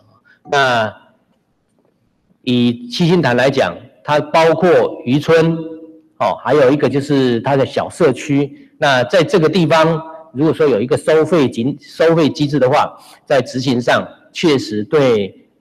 不管是交通或是民当地民众，多多少少都会有一个影响，所以在观光景点的部分，原则上我们会立即来研议，哦，但是推动的时间我们还是会尊重整个当地居民的意见。那本来我们有一个依照观光条例第十七条哦，有一个自然生态景观区的推动，但是因为它牵涉的范围非常非常的复杂，而且。它的推动方式是由基层哈逐步推动上来的。那以木古木以为例，那原本推动的成果呢，已经准备要划设了，但是因为当地居民的意见，所以还没有完全整合，所以目前这个生态景观区的收费机制呢，就暂停在那里。所以它可能会碰到的问题，也是牵涉到非常多层面。但是观光景点的推动应该是一个趋势，那我们会。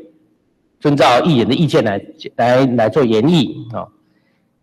杨德金议员有提到，这个东部办公室有提在在台糖台糖糖厂呢，他有宣宣布哈，希望能够推动糖厂小火车延伸到大龙大富部落的部分。其实这个计划呢，我们在前年呢也有跟台铁局、台铁还有台糖。有提供也申请了，跟他们协调提供这些小火车附件的资料。那因为这一条台糖运糖的小铁路，目前大部分都已经被民众使用，或者是有改设其他的那个土地使用。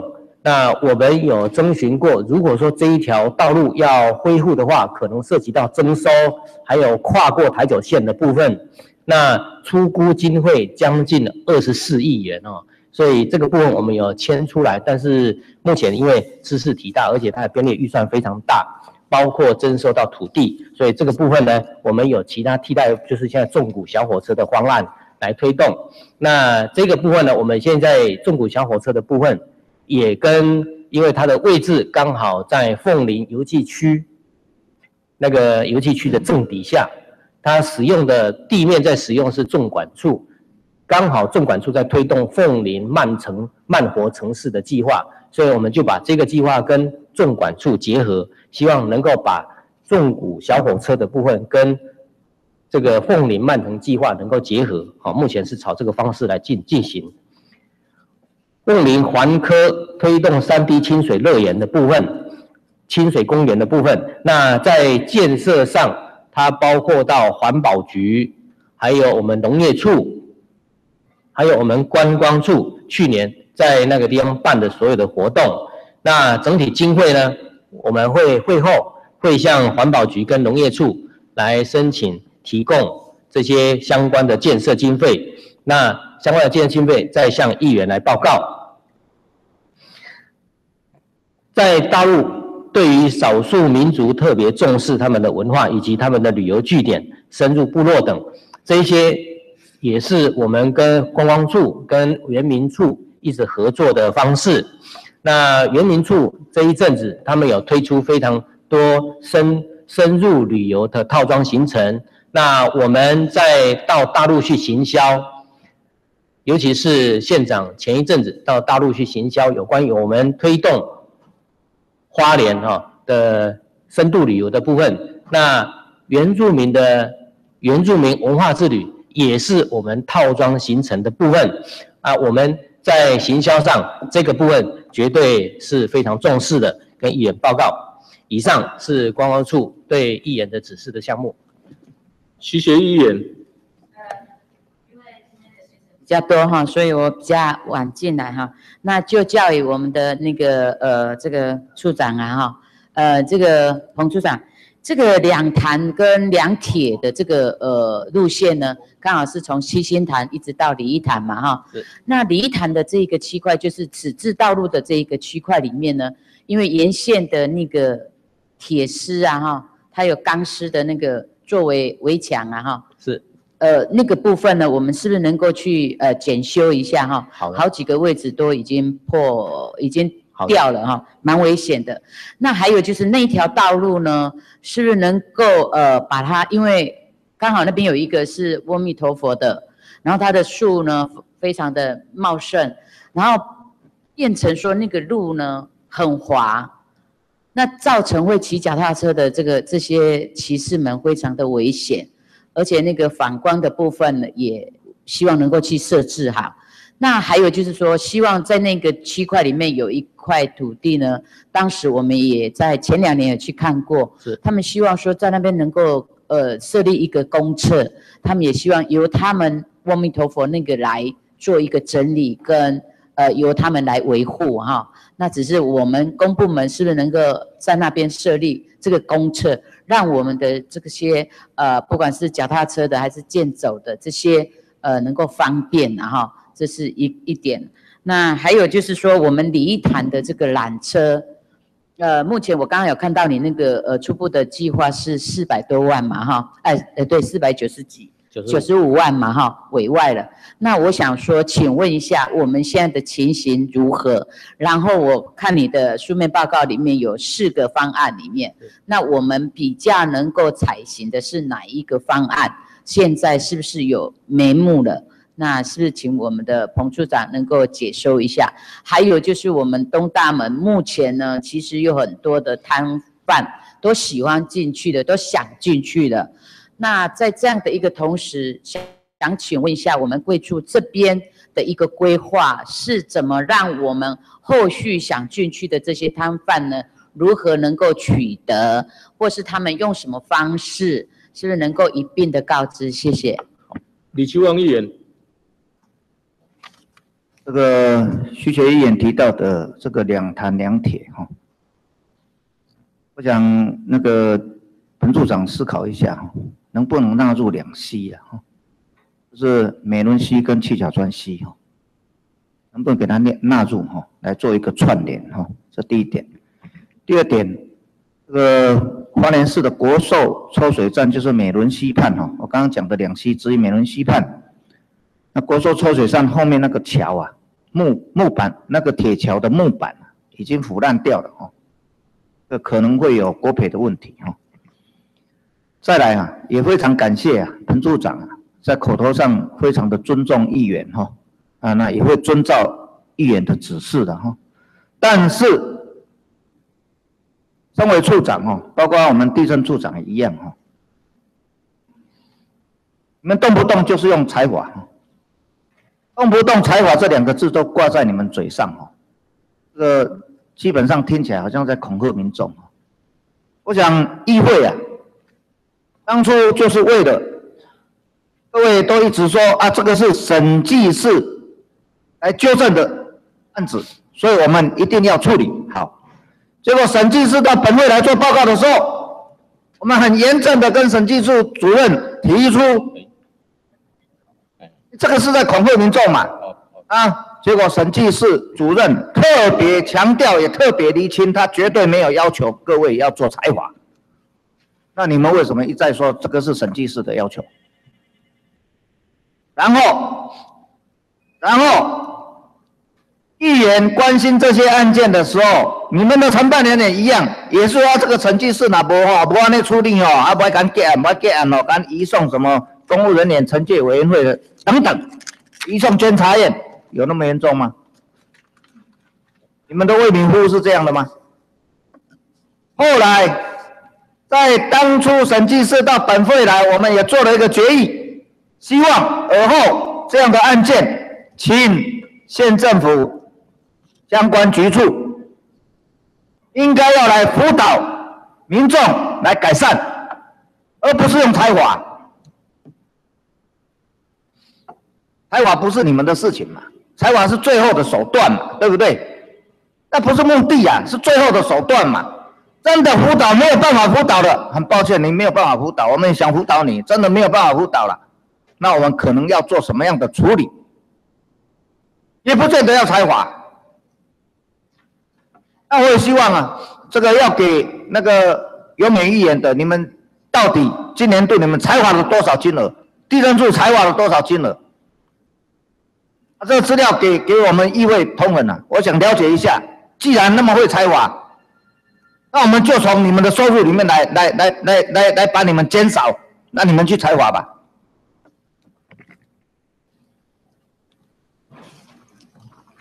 苏中亮议员。呃，张会长，还有秘书长，两处的处长，还有他团队，还有我们议员女士先生，呃，大家平安。呃，呃在这里跟观光旅游处处长沟通一件事哈。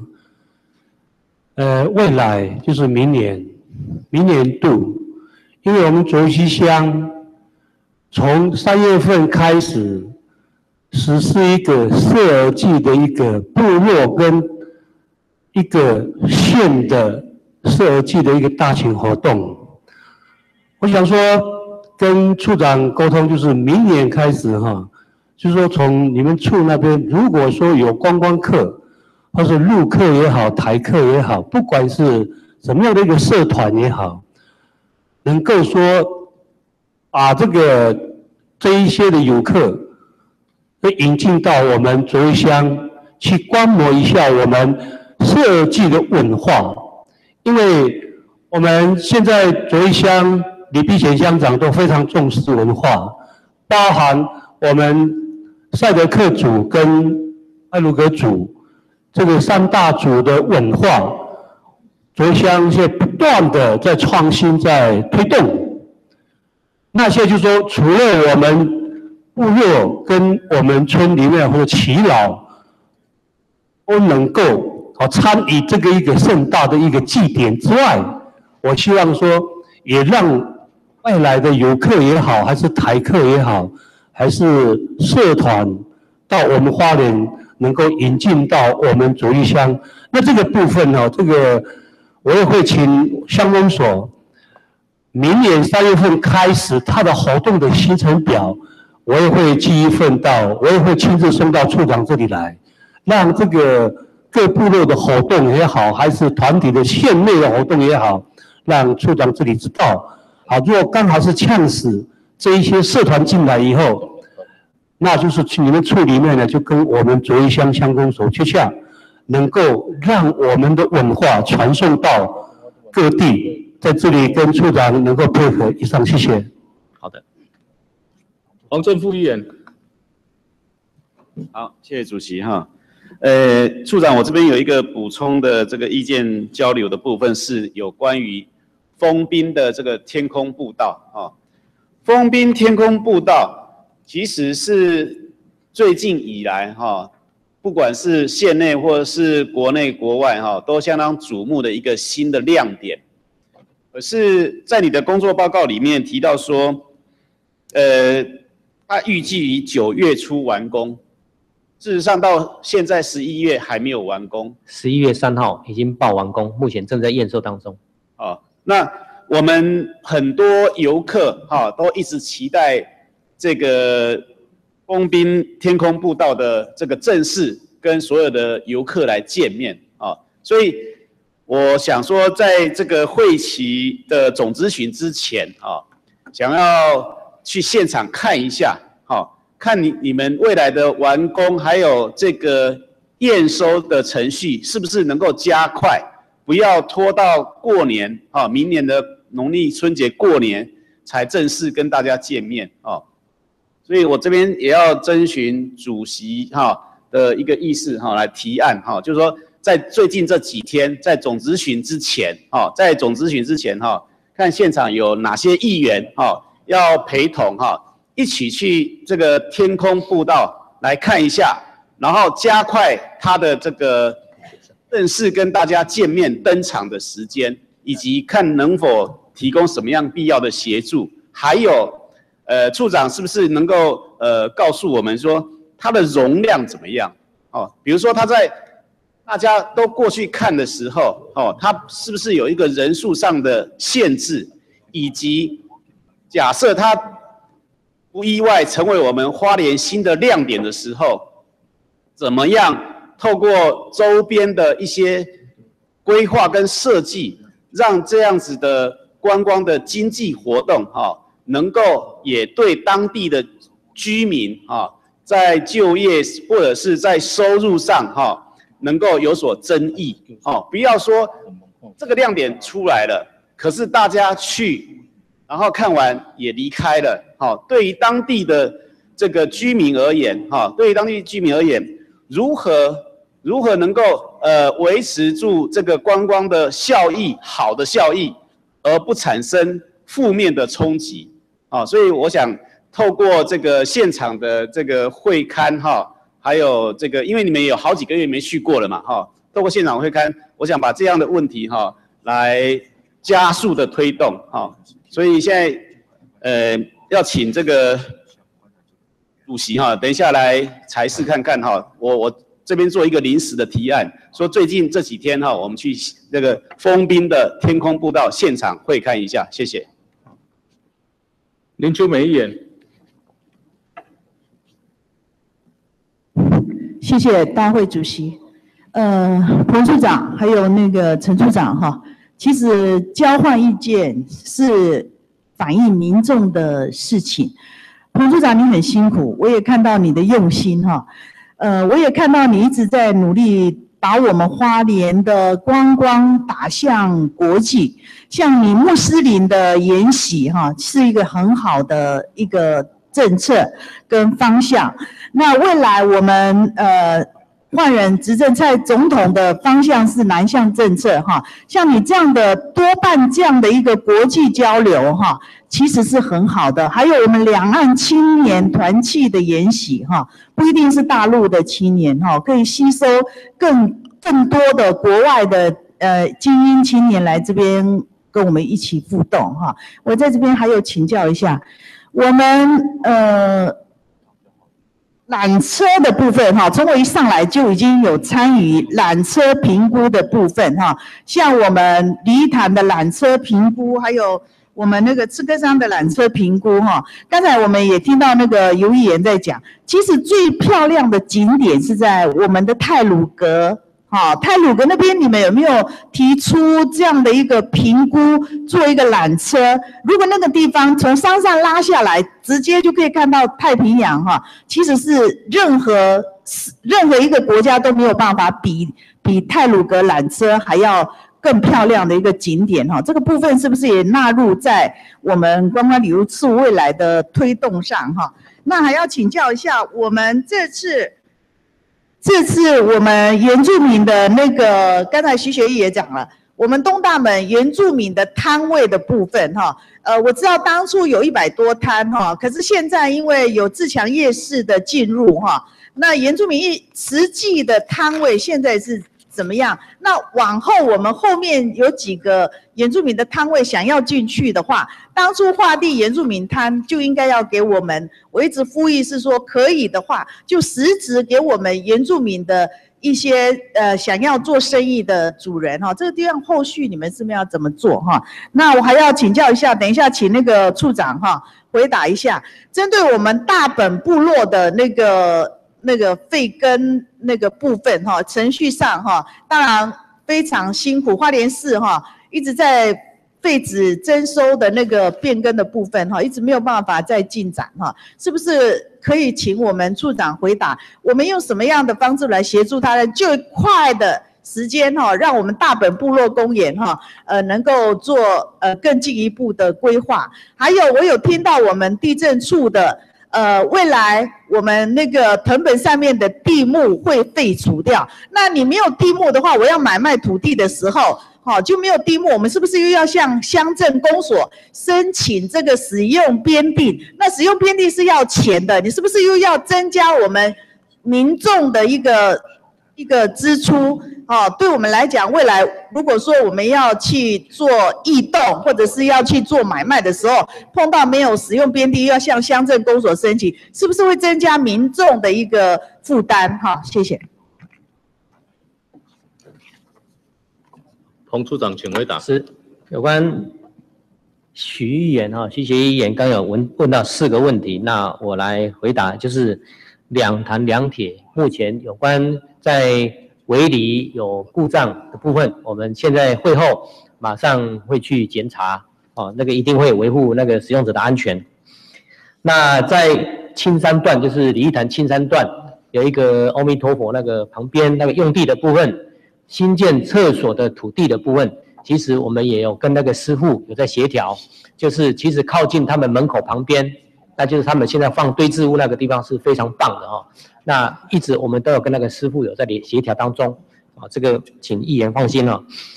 那另外一个是已已经嘛就是迄个所在，伊要甲伊先甲伊的物件要清掉。没有了，他不是不是对面那一个，他希望在旁边，就是那个候车亭旁边，他希望有加上一个饮水机。他希望饮水跟厕所都能够在一起。是是是。那我跟我们之前看的不同位置。不同位置。就是在它的对面了。对对对对。好，了解。嘿嘿，这个我们有去协调哈。那离潭缆车的部分呢？那我有四个方向哦。那其中有几个因为牵涉到地址的问题以及高压电线的问题，可能是开发上有困难。比如说，这个从潭南经过池南一直到哈伦缆车的部分，那这一条。这条路线，因为它的路线牵涉到居民住宅区的正上方，哦，那可能是会影响到民众的隐私，而且该条路一直到哈伦缆车有经过两道高压铁塔，刚好穿过，所以这个客服上也有一些困难。等于这个。这一条路线就暂时应该是没办法来执行了。我们会透过说明会啦，因为我们会跟居居民做一个意见交换，因为确实它会影响，就是一般哈，如果说住家的正上方有缆车经过，会影响到民众生活的隐私啊。这是一定的。对对对对，那另外缆车如果高跟高压电线，如果说这个交叉的话，那那照你这么讲的话，那这一条路线是以目前来讲，他们可行性不高呃可行性已经不高了。不高。那另外就是潭南、潭北也是不错的啊，它一点四公里啊，但是因为它要落墩，要落墩落在那个潭里面，所以 在环境影响评估上，它可能受到的那个就是质疑上也比较高一点。哎，那另外一个就是从自学火车站经过李义山到潭南啊，潭南因为是萤火虫的富裕区，潭南是萤火虫目前的富裕区，所以这个在生态的冲击上也要受到考量。哦，那另外就是最后一条就是从自学火车站到潭北，那刚好潭北是商业区，目前都市计划二通它是商业区，所以这个可行性稍微偏高。那照照你这么讲，照彭处长这么讲的话，那可能就是我们火车站到潭北这个是可行性最高的，比较高一点。而且我也觉得这一条线呢，以我们要来施作的话是最快的。那我们有去访问一下附近的居民哦，他们的意见，那以这一条他们的意见比较接受度比较高，哎这个我们都有在进行在调查。好谢谢。对，好啊，同时这个问题也刚好有我们回答我们那个李秋美议员刚有咨询的问题啊。那另外就是李秋旺议员有提到，希望推动两溪自行车道。其实目前我们花莲除了两潭以外，还有两铁自行车道哈，就是旧铁道跟新铁道之间也有铁道，也有一条我们目前在使用的自行车道，就两铁，从花莲火车站的新站一直到 沿着美伦溪，哦，一直到我们北滨这边，其实也有一条自行车道。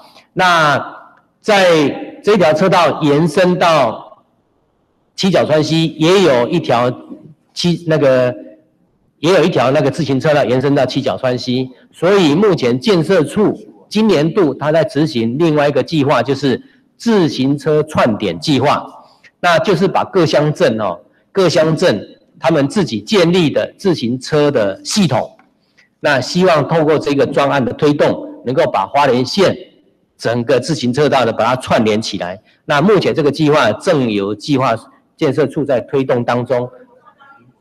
刘美议员，呃，玉里跟护理都是凤林呢，吉安都有都有，每一个乡镇，每一个那乡镇你刚才回答都是避重就轻的，我们讲了几次，你好像都是技术性回答。那愿景在哪里？我刚刚讲跟整个议员讲的那个国民编的三三亿的那个以后的未来性，跟大山大海的看法，你这里还有那个木古木银只回答说正在怎样，就没有讲未来了。你要给我们一个愿景，一个希望嘛。你只是这样技术性的回答，那就书面就好啦。那个计那个脚踏车串点计划，目前已经有建设处在执行当中。周峰哪里，凤林哪里，讲一下啊。那会后我请我会收集这个资料，他们的评估报告跟议员报告。哎，只讲一半嘛。那木古木语的部分，最主要是尊重那个榕树榕树社那。下面就没有了吗？剑南市下面就没有了。花莲买的两百台 T4 的业者怎么办？你尊重榕树，你还有配套嘛？怎么办？花莲县买 P T4 的两百台两百台的业者怎么办？未来生计怎么办？要想这个啊。好啦，你就会后再讨论啦，好不好？你很多事情你还是要想的多一点呐。另外，李秋旺议员有提到，就是有关于我们辅导旅宿业者的部分哦。那其实我们每年观光处投资在旅馆业以及民宿业的辅导的部分，我们都分两季进行，每年至少都会有两次，就是以辅导的方式，包括民宿协会，我们都透过民宿协会啊，那我们民宿协会有两个民宿协会啊，我们分别透过这两个民宿协会呢，来辅导所有的业者。那我们在上课的时候，在辅导的时候，并没有限制说一定是拥有旅宿牌的哦，才可以参加这个辅导活动。那观光那个旅馆业也是，我们都是希望用辅导的方式来代替稽查跟处采访。苏中亮议员有提到明年卓溪乡射耳季的部分，我想这个会纳到我们的那个旅游计划里面去推动。好，那黄正辉也有提到封滨天空步道的部分，那我要特别报告就是这个封滨天空步道，我们分成两个计划来进行的。第一个就是它主体步道的部分跟停车，处长，针对黄正富议员的提案，是会后尽快安排会刊。好的然后时间以黄正富议员为主，然后通知各位议员参加。好好的，那处长请回。是。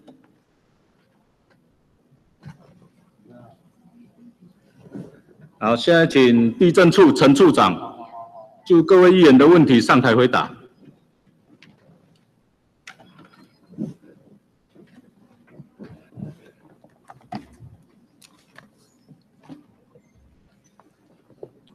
大会主席张副议长啊，各位议员女士，那仅针对刚刚工作报告完各位议员所提示的意见，好啊，先做摘要性的答复。如果呃不尽呃完整的地方，好，我们再提供书面的资料。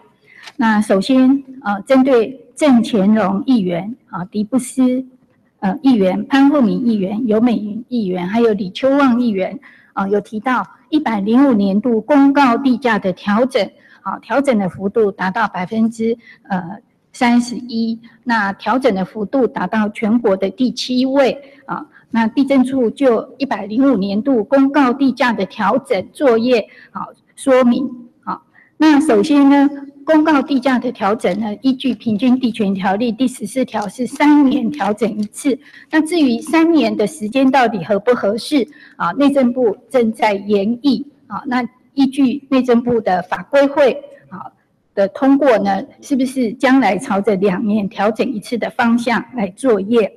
那至于一百零五年度的公告地价的有美议员，地价是地方政府为这，这是地方自治的权利。好，不要再推中央了。我刚刚讲了，三级公务人员依法行政，地方自治的地权，这个地方自治属于这部分的，把它看清楚。地方地价可以地方来为之，不要动不动推中央。你们最好三级公务人员好好看清楚。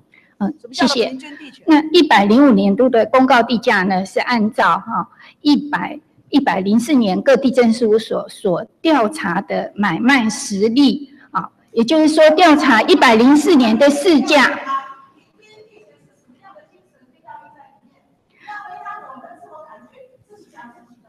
我们现在是意见交换时间呢，不是你自我陈述哎。嗯，谢谢谢谢尤议员哈。那如果说陈述有不完整的地方哈，我们以书面来答复。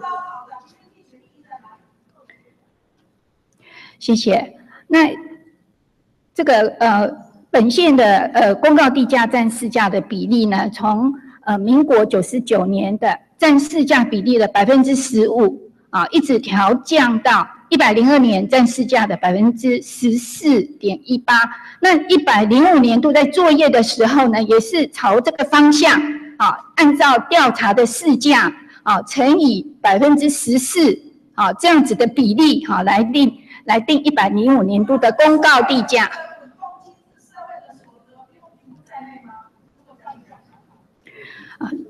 谢谢。是，所以啊，今年一百零五年度所呈现出来调整的幅度达到百分之三十一，事实上是这三年来市价的波动情形。那么，呃，这个公告地价占市价的比例，啊，从九十九年到现在，哈，一直维持在百分之十四啊点一八这样子的一个比例。那其次呢？呃，有提到说公告地价的调整，那以至于公有土地的租金随之调高。那么公告地价的法定用途，说你这个三十一点几，你还是不检讨就对了，还是要不要检讨嘛？你先讲嘛。刚刚回应一下，回应一下，迪布斯议员有提到。对，我刚刚说的要不要检讨嘛？我们说的要不要检讨？你要不要回去再检讨一次？谢谢。呃，迪布斯议员刚，那我说要不要回去检讨？不检讨是吧？那总结不检讨是不是？联合报有提到，呃，是你自己看法，不要说联合报好不好？呃，据联合报的报载哈，宜兰县哈，那呃针对部分的地价区段哈，会再做检讨。那据我们所了解呢，宜兰县是呃违规使用的农地用邻近地区的建地来定定，这样的定定方式事实上是不符合规定的。那所以宜兰县是朝这个方向来检讨啊，农地如果是违规使用，那以建地的方式来定公告地价。到底合不合理？这个方向来做检讨。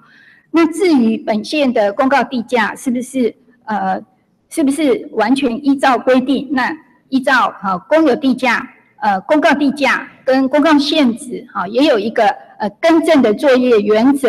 那其中有提到说。如果地价区段的划分不符合都市计划啊的划分，那或者说区段地价的计算呢有所错误，那我们会请各地政事务所在检讨哈五千五百九十五个地价区段它的地价定定哈是不是符合规定？那么郑乾隆议员提到吉安乡都市土地农业区变更为建筑用地，是说那你清楚吗？为什么不正面回答我这样翻来翻去呢？你不习惯我们这样放的方式吗？说明就听不懂你那么冗长的赘叙，那你就跟我说好，我愿意各地震事务所来做一些检讨，不就很好听了吗？为什么这样一一直不正面回答我呢？你就讲你的，你就讲这怎么是意见交换？你习惯赘叙，那你也要习惯庶民听得懂吗？你现在是德政啊，那你要让我们了解到你愿意这样做，你就讲。那前面讲依然讲了半天，依然是不对的，你们是对的。我不能就是这样啊，我们只讲结论嘛，不用赘叙嘛，好不好？处长，你是一个很文雅的人呐。就是面对我们的资讯传媒在流通的时候，老百姓希望非常希望知道你即刻性的回答，快速简要的回答我们是必要的。谢谢你哈，会更正，谢谢。谢谢好，那因为我同时回应相关呃相同的议题，因为迪布斯议员刚刚有提供呃嗯联合报的媒体报道哈。那么再来是呃，关于郑乾隆议员提到都市土地的农业区，因为人口增加，是不是可以哈呃检讨变更为建筑用地？那因为都市计划的检讨是属于建设处都市计划科的业务，那我们会呃把相关的议题反映给他。那迪普斯议员提到原住民的姓名变更，那么在户政机关办理姓名变更，那么地震的地籍资料可不可以同时的呃做做变更？那因为哈，我们跟户政单位呢有联合服务，那只要原住民在申请呃这个原住民姓名变更，啊，在户政单位填写同意书，同意地震单位的资料啊，也可以同步变更的话，那么由户政机关所移送过的资料呢，我们会啊办理同步的变更。那么，呃，迪布斯议员有提到华东部落哈，以及刚刚林林秋美议员提到的大本部落，应该是啊同一个案子。那涉及到呃这个诶废纸征收以及撤销征收，那这个案子呢的诶主办单位哈，就当初征收的单位是花莲市公所。那么市公所啊也很努力的在呃协助呃办理撤销征收以及废纸征收。那么关于呃。在征收废纸跟撤销的作业中所需要的相关图集啊，本来应该是由市公所来制图的。那么，呃呃，因为哈，他的这个人员呢更替的，呃，有新的人员哈，那么有表达说需要我们县政府来协助。那我们客政呃现在呢正在呃协助呃办理制图的相关作业啊，那制图上应该没有没有任何的问题。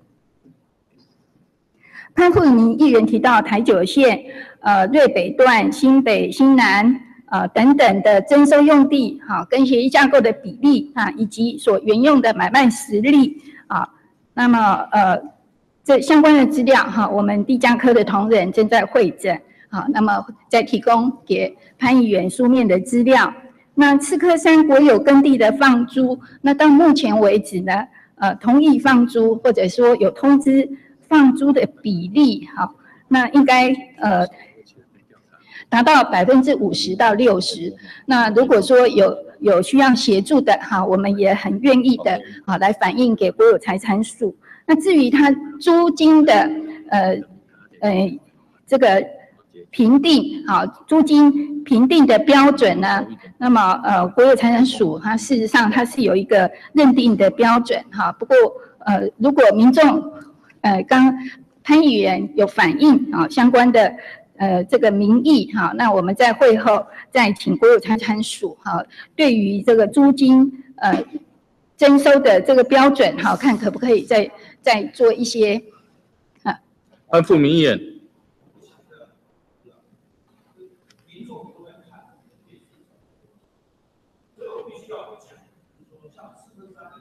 麦克风。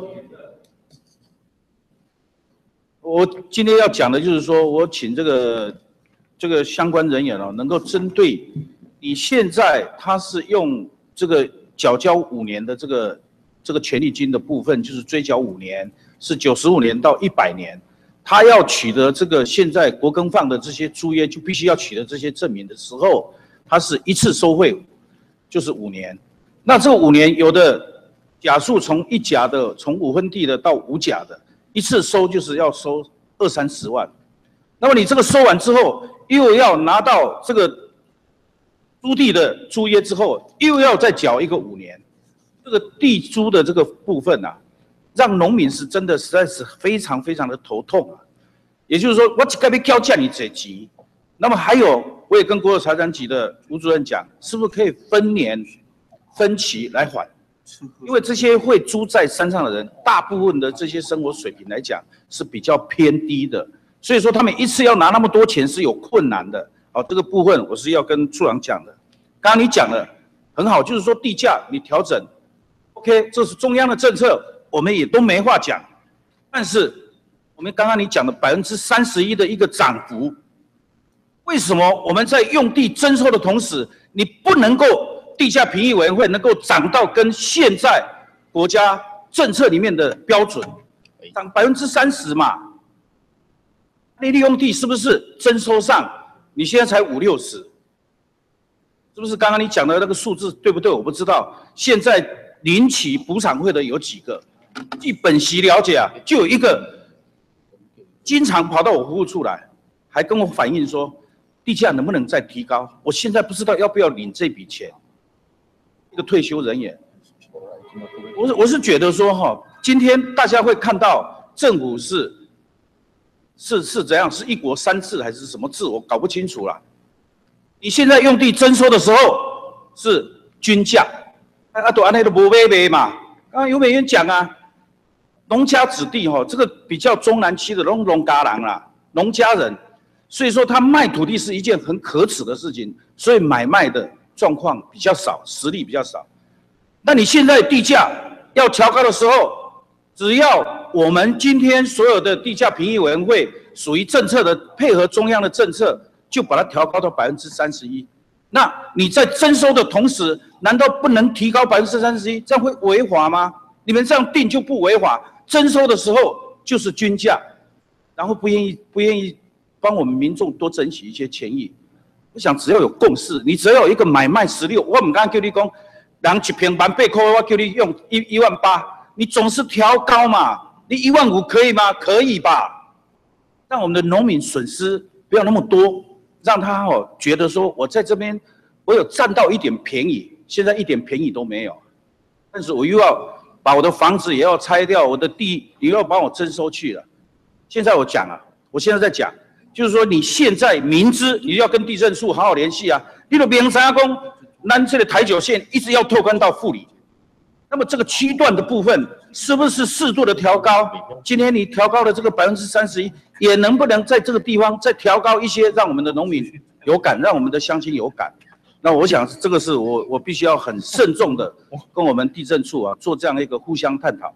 你都可以调高了，地价委员会评议你就调高三十一了。为什么地下征收的时候，你明知道那个用地要征收的时候，拿马公级边后后底下，这个我就觉得这个政府实在是很讽刺的一件事情。哦，以上我是跟处长哦互相做这样的一个意见交换，好不好？谢谢。有美议员，借法知识提供啊，在法源法律网平均地权条例一百年十二月三四第一章总则平均地权的实施，以本条例的规定。适用体育法其他有关法律。本条例所谓的主管机关，在中央为内政部，在直辖市为直辖县市府，在县市为县市政府。有关土地债券，当是中央机关为为财政，然后规定地价也是一样。本条例的区域内，应该是县直辖市或县主管规定划定范围，报请中央核定后分期办理。那你地价三年规定一次，重新规定地价者一同。你这个地价它其实有落落实在地方自治啊，怎么没有呢？刚刚他讲的，你们要征收人家的时候，你就没有按照这方法。你们跟他拿拿拿拿人家土地的时候，你的钱就是很很节俭，然后讲了半天怕你征税。那为了一般公中央规定，你就说中央规定的税很大。我刚刚本席啊，一直以为说。你有这个诚意要来解决？刚刚媒体记者马上打进来说，你并没有仔细的回答，你就说各地震事务所。我再说一次，地震处长，你难道对花莲县的三十三万的县民无感吗？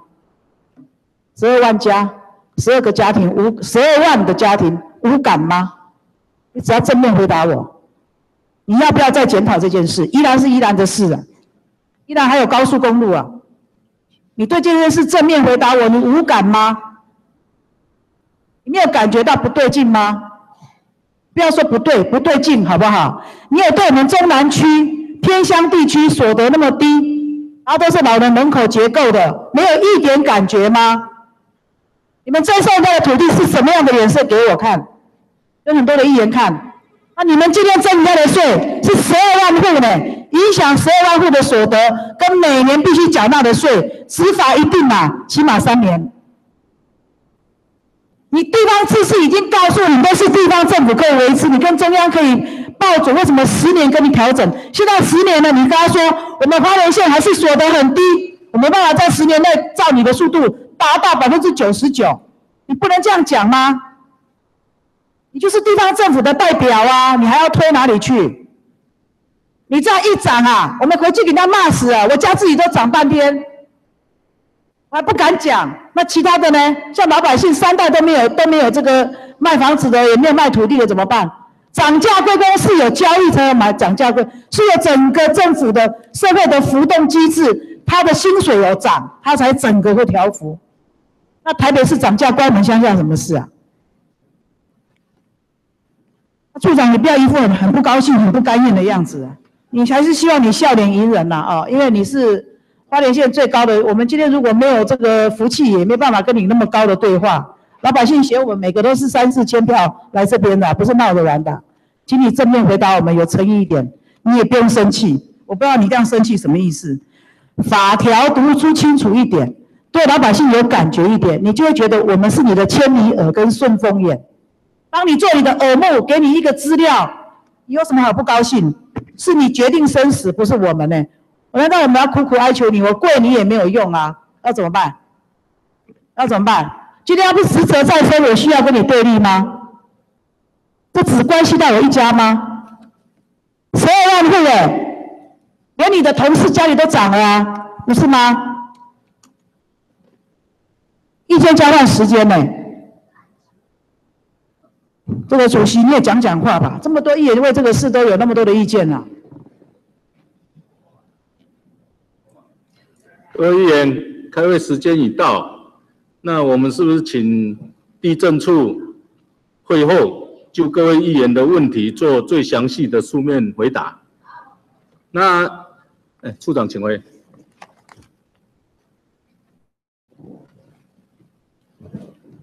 那我们黄正富议员提案说要到丰滨天空步道考察，哎，明天下午一点半在大门口集合，要参加的议员。到丰滨天空步道，要参加的议员在大门口集合。哎，黄正副议员。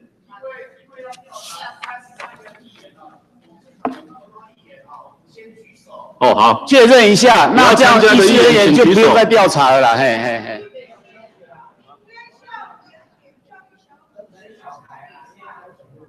那个没。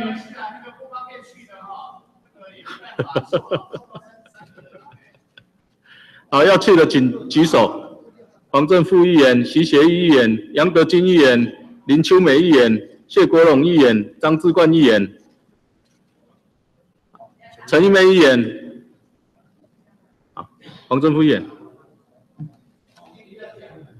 哦，还有，好，那最后最后哈，我跟这个地震处哈来调一个资料，因为很多争议点哈，好像来自于大家对于这个地价三十一趴的这个认知哈，三十一趴应该是五千多个地段别哈，它的一个总的平均得出来的总平均数，有的高有的低哈，那是不是可以提供我们？个别的哈，每一个地段别它的个别，你们应该有个别的涨幅的资料吧？哦，个别的涨幅，比如说某一个富国段涨多少，然后什么主主力段涨多少，有这样的资料的话，请你提供给本席，好，谢谢。好，今天上午提供给本会，好，今天上午会议结束，大会报告，下午议程分组审查或收集资料。明天上午九点进行县府地方税务局农业处工作报告及业务探讨，请相关人员准时出席。散会。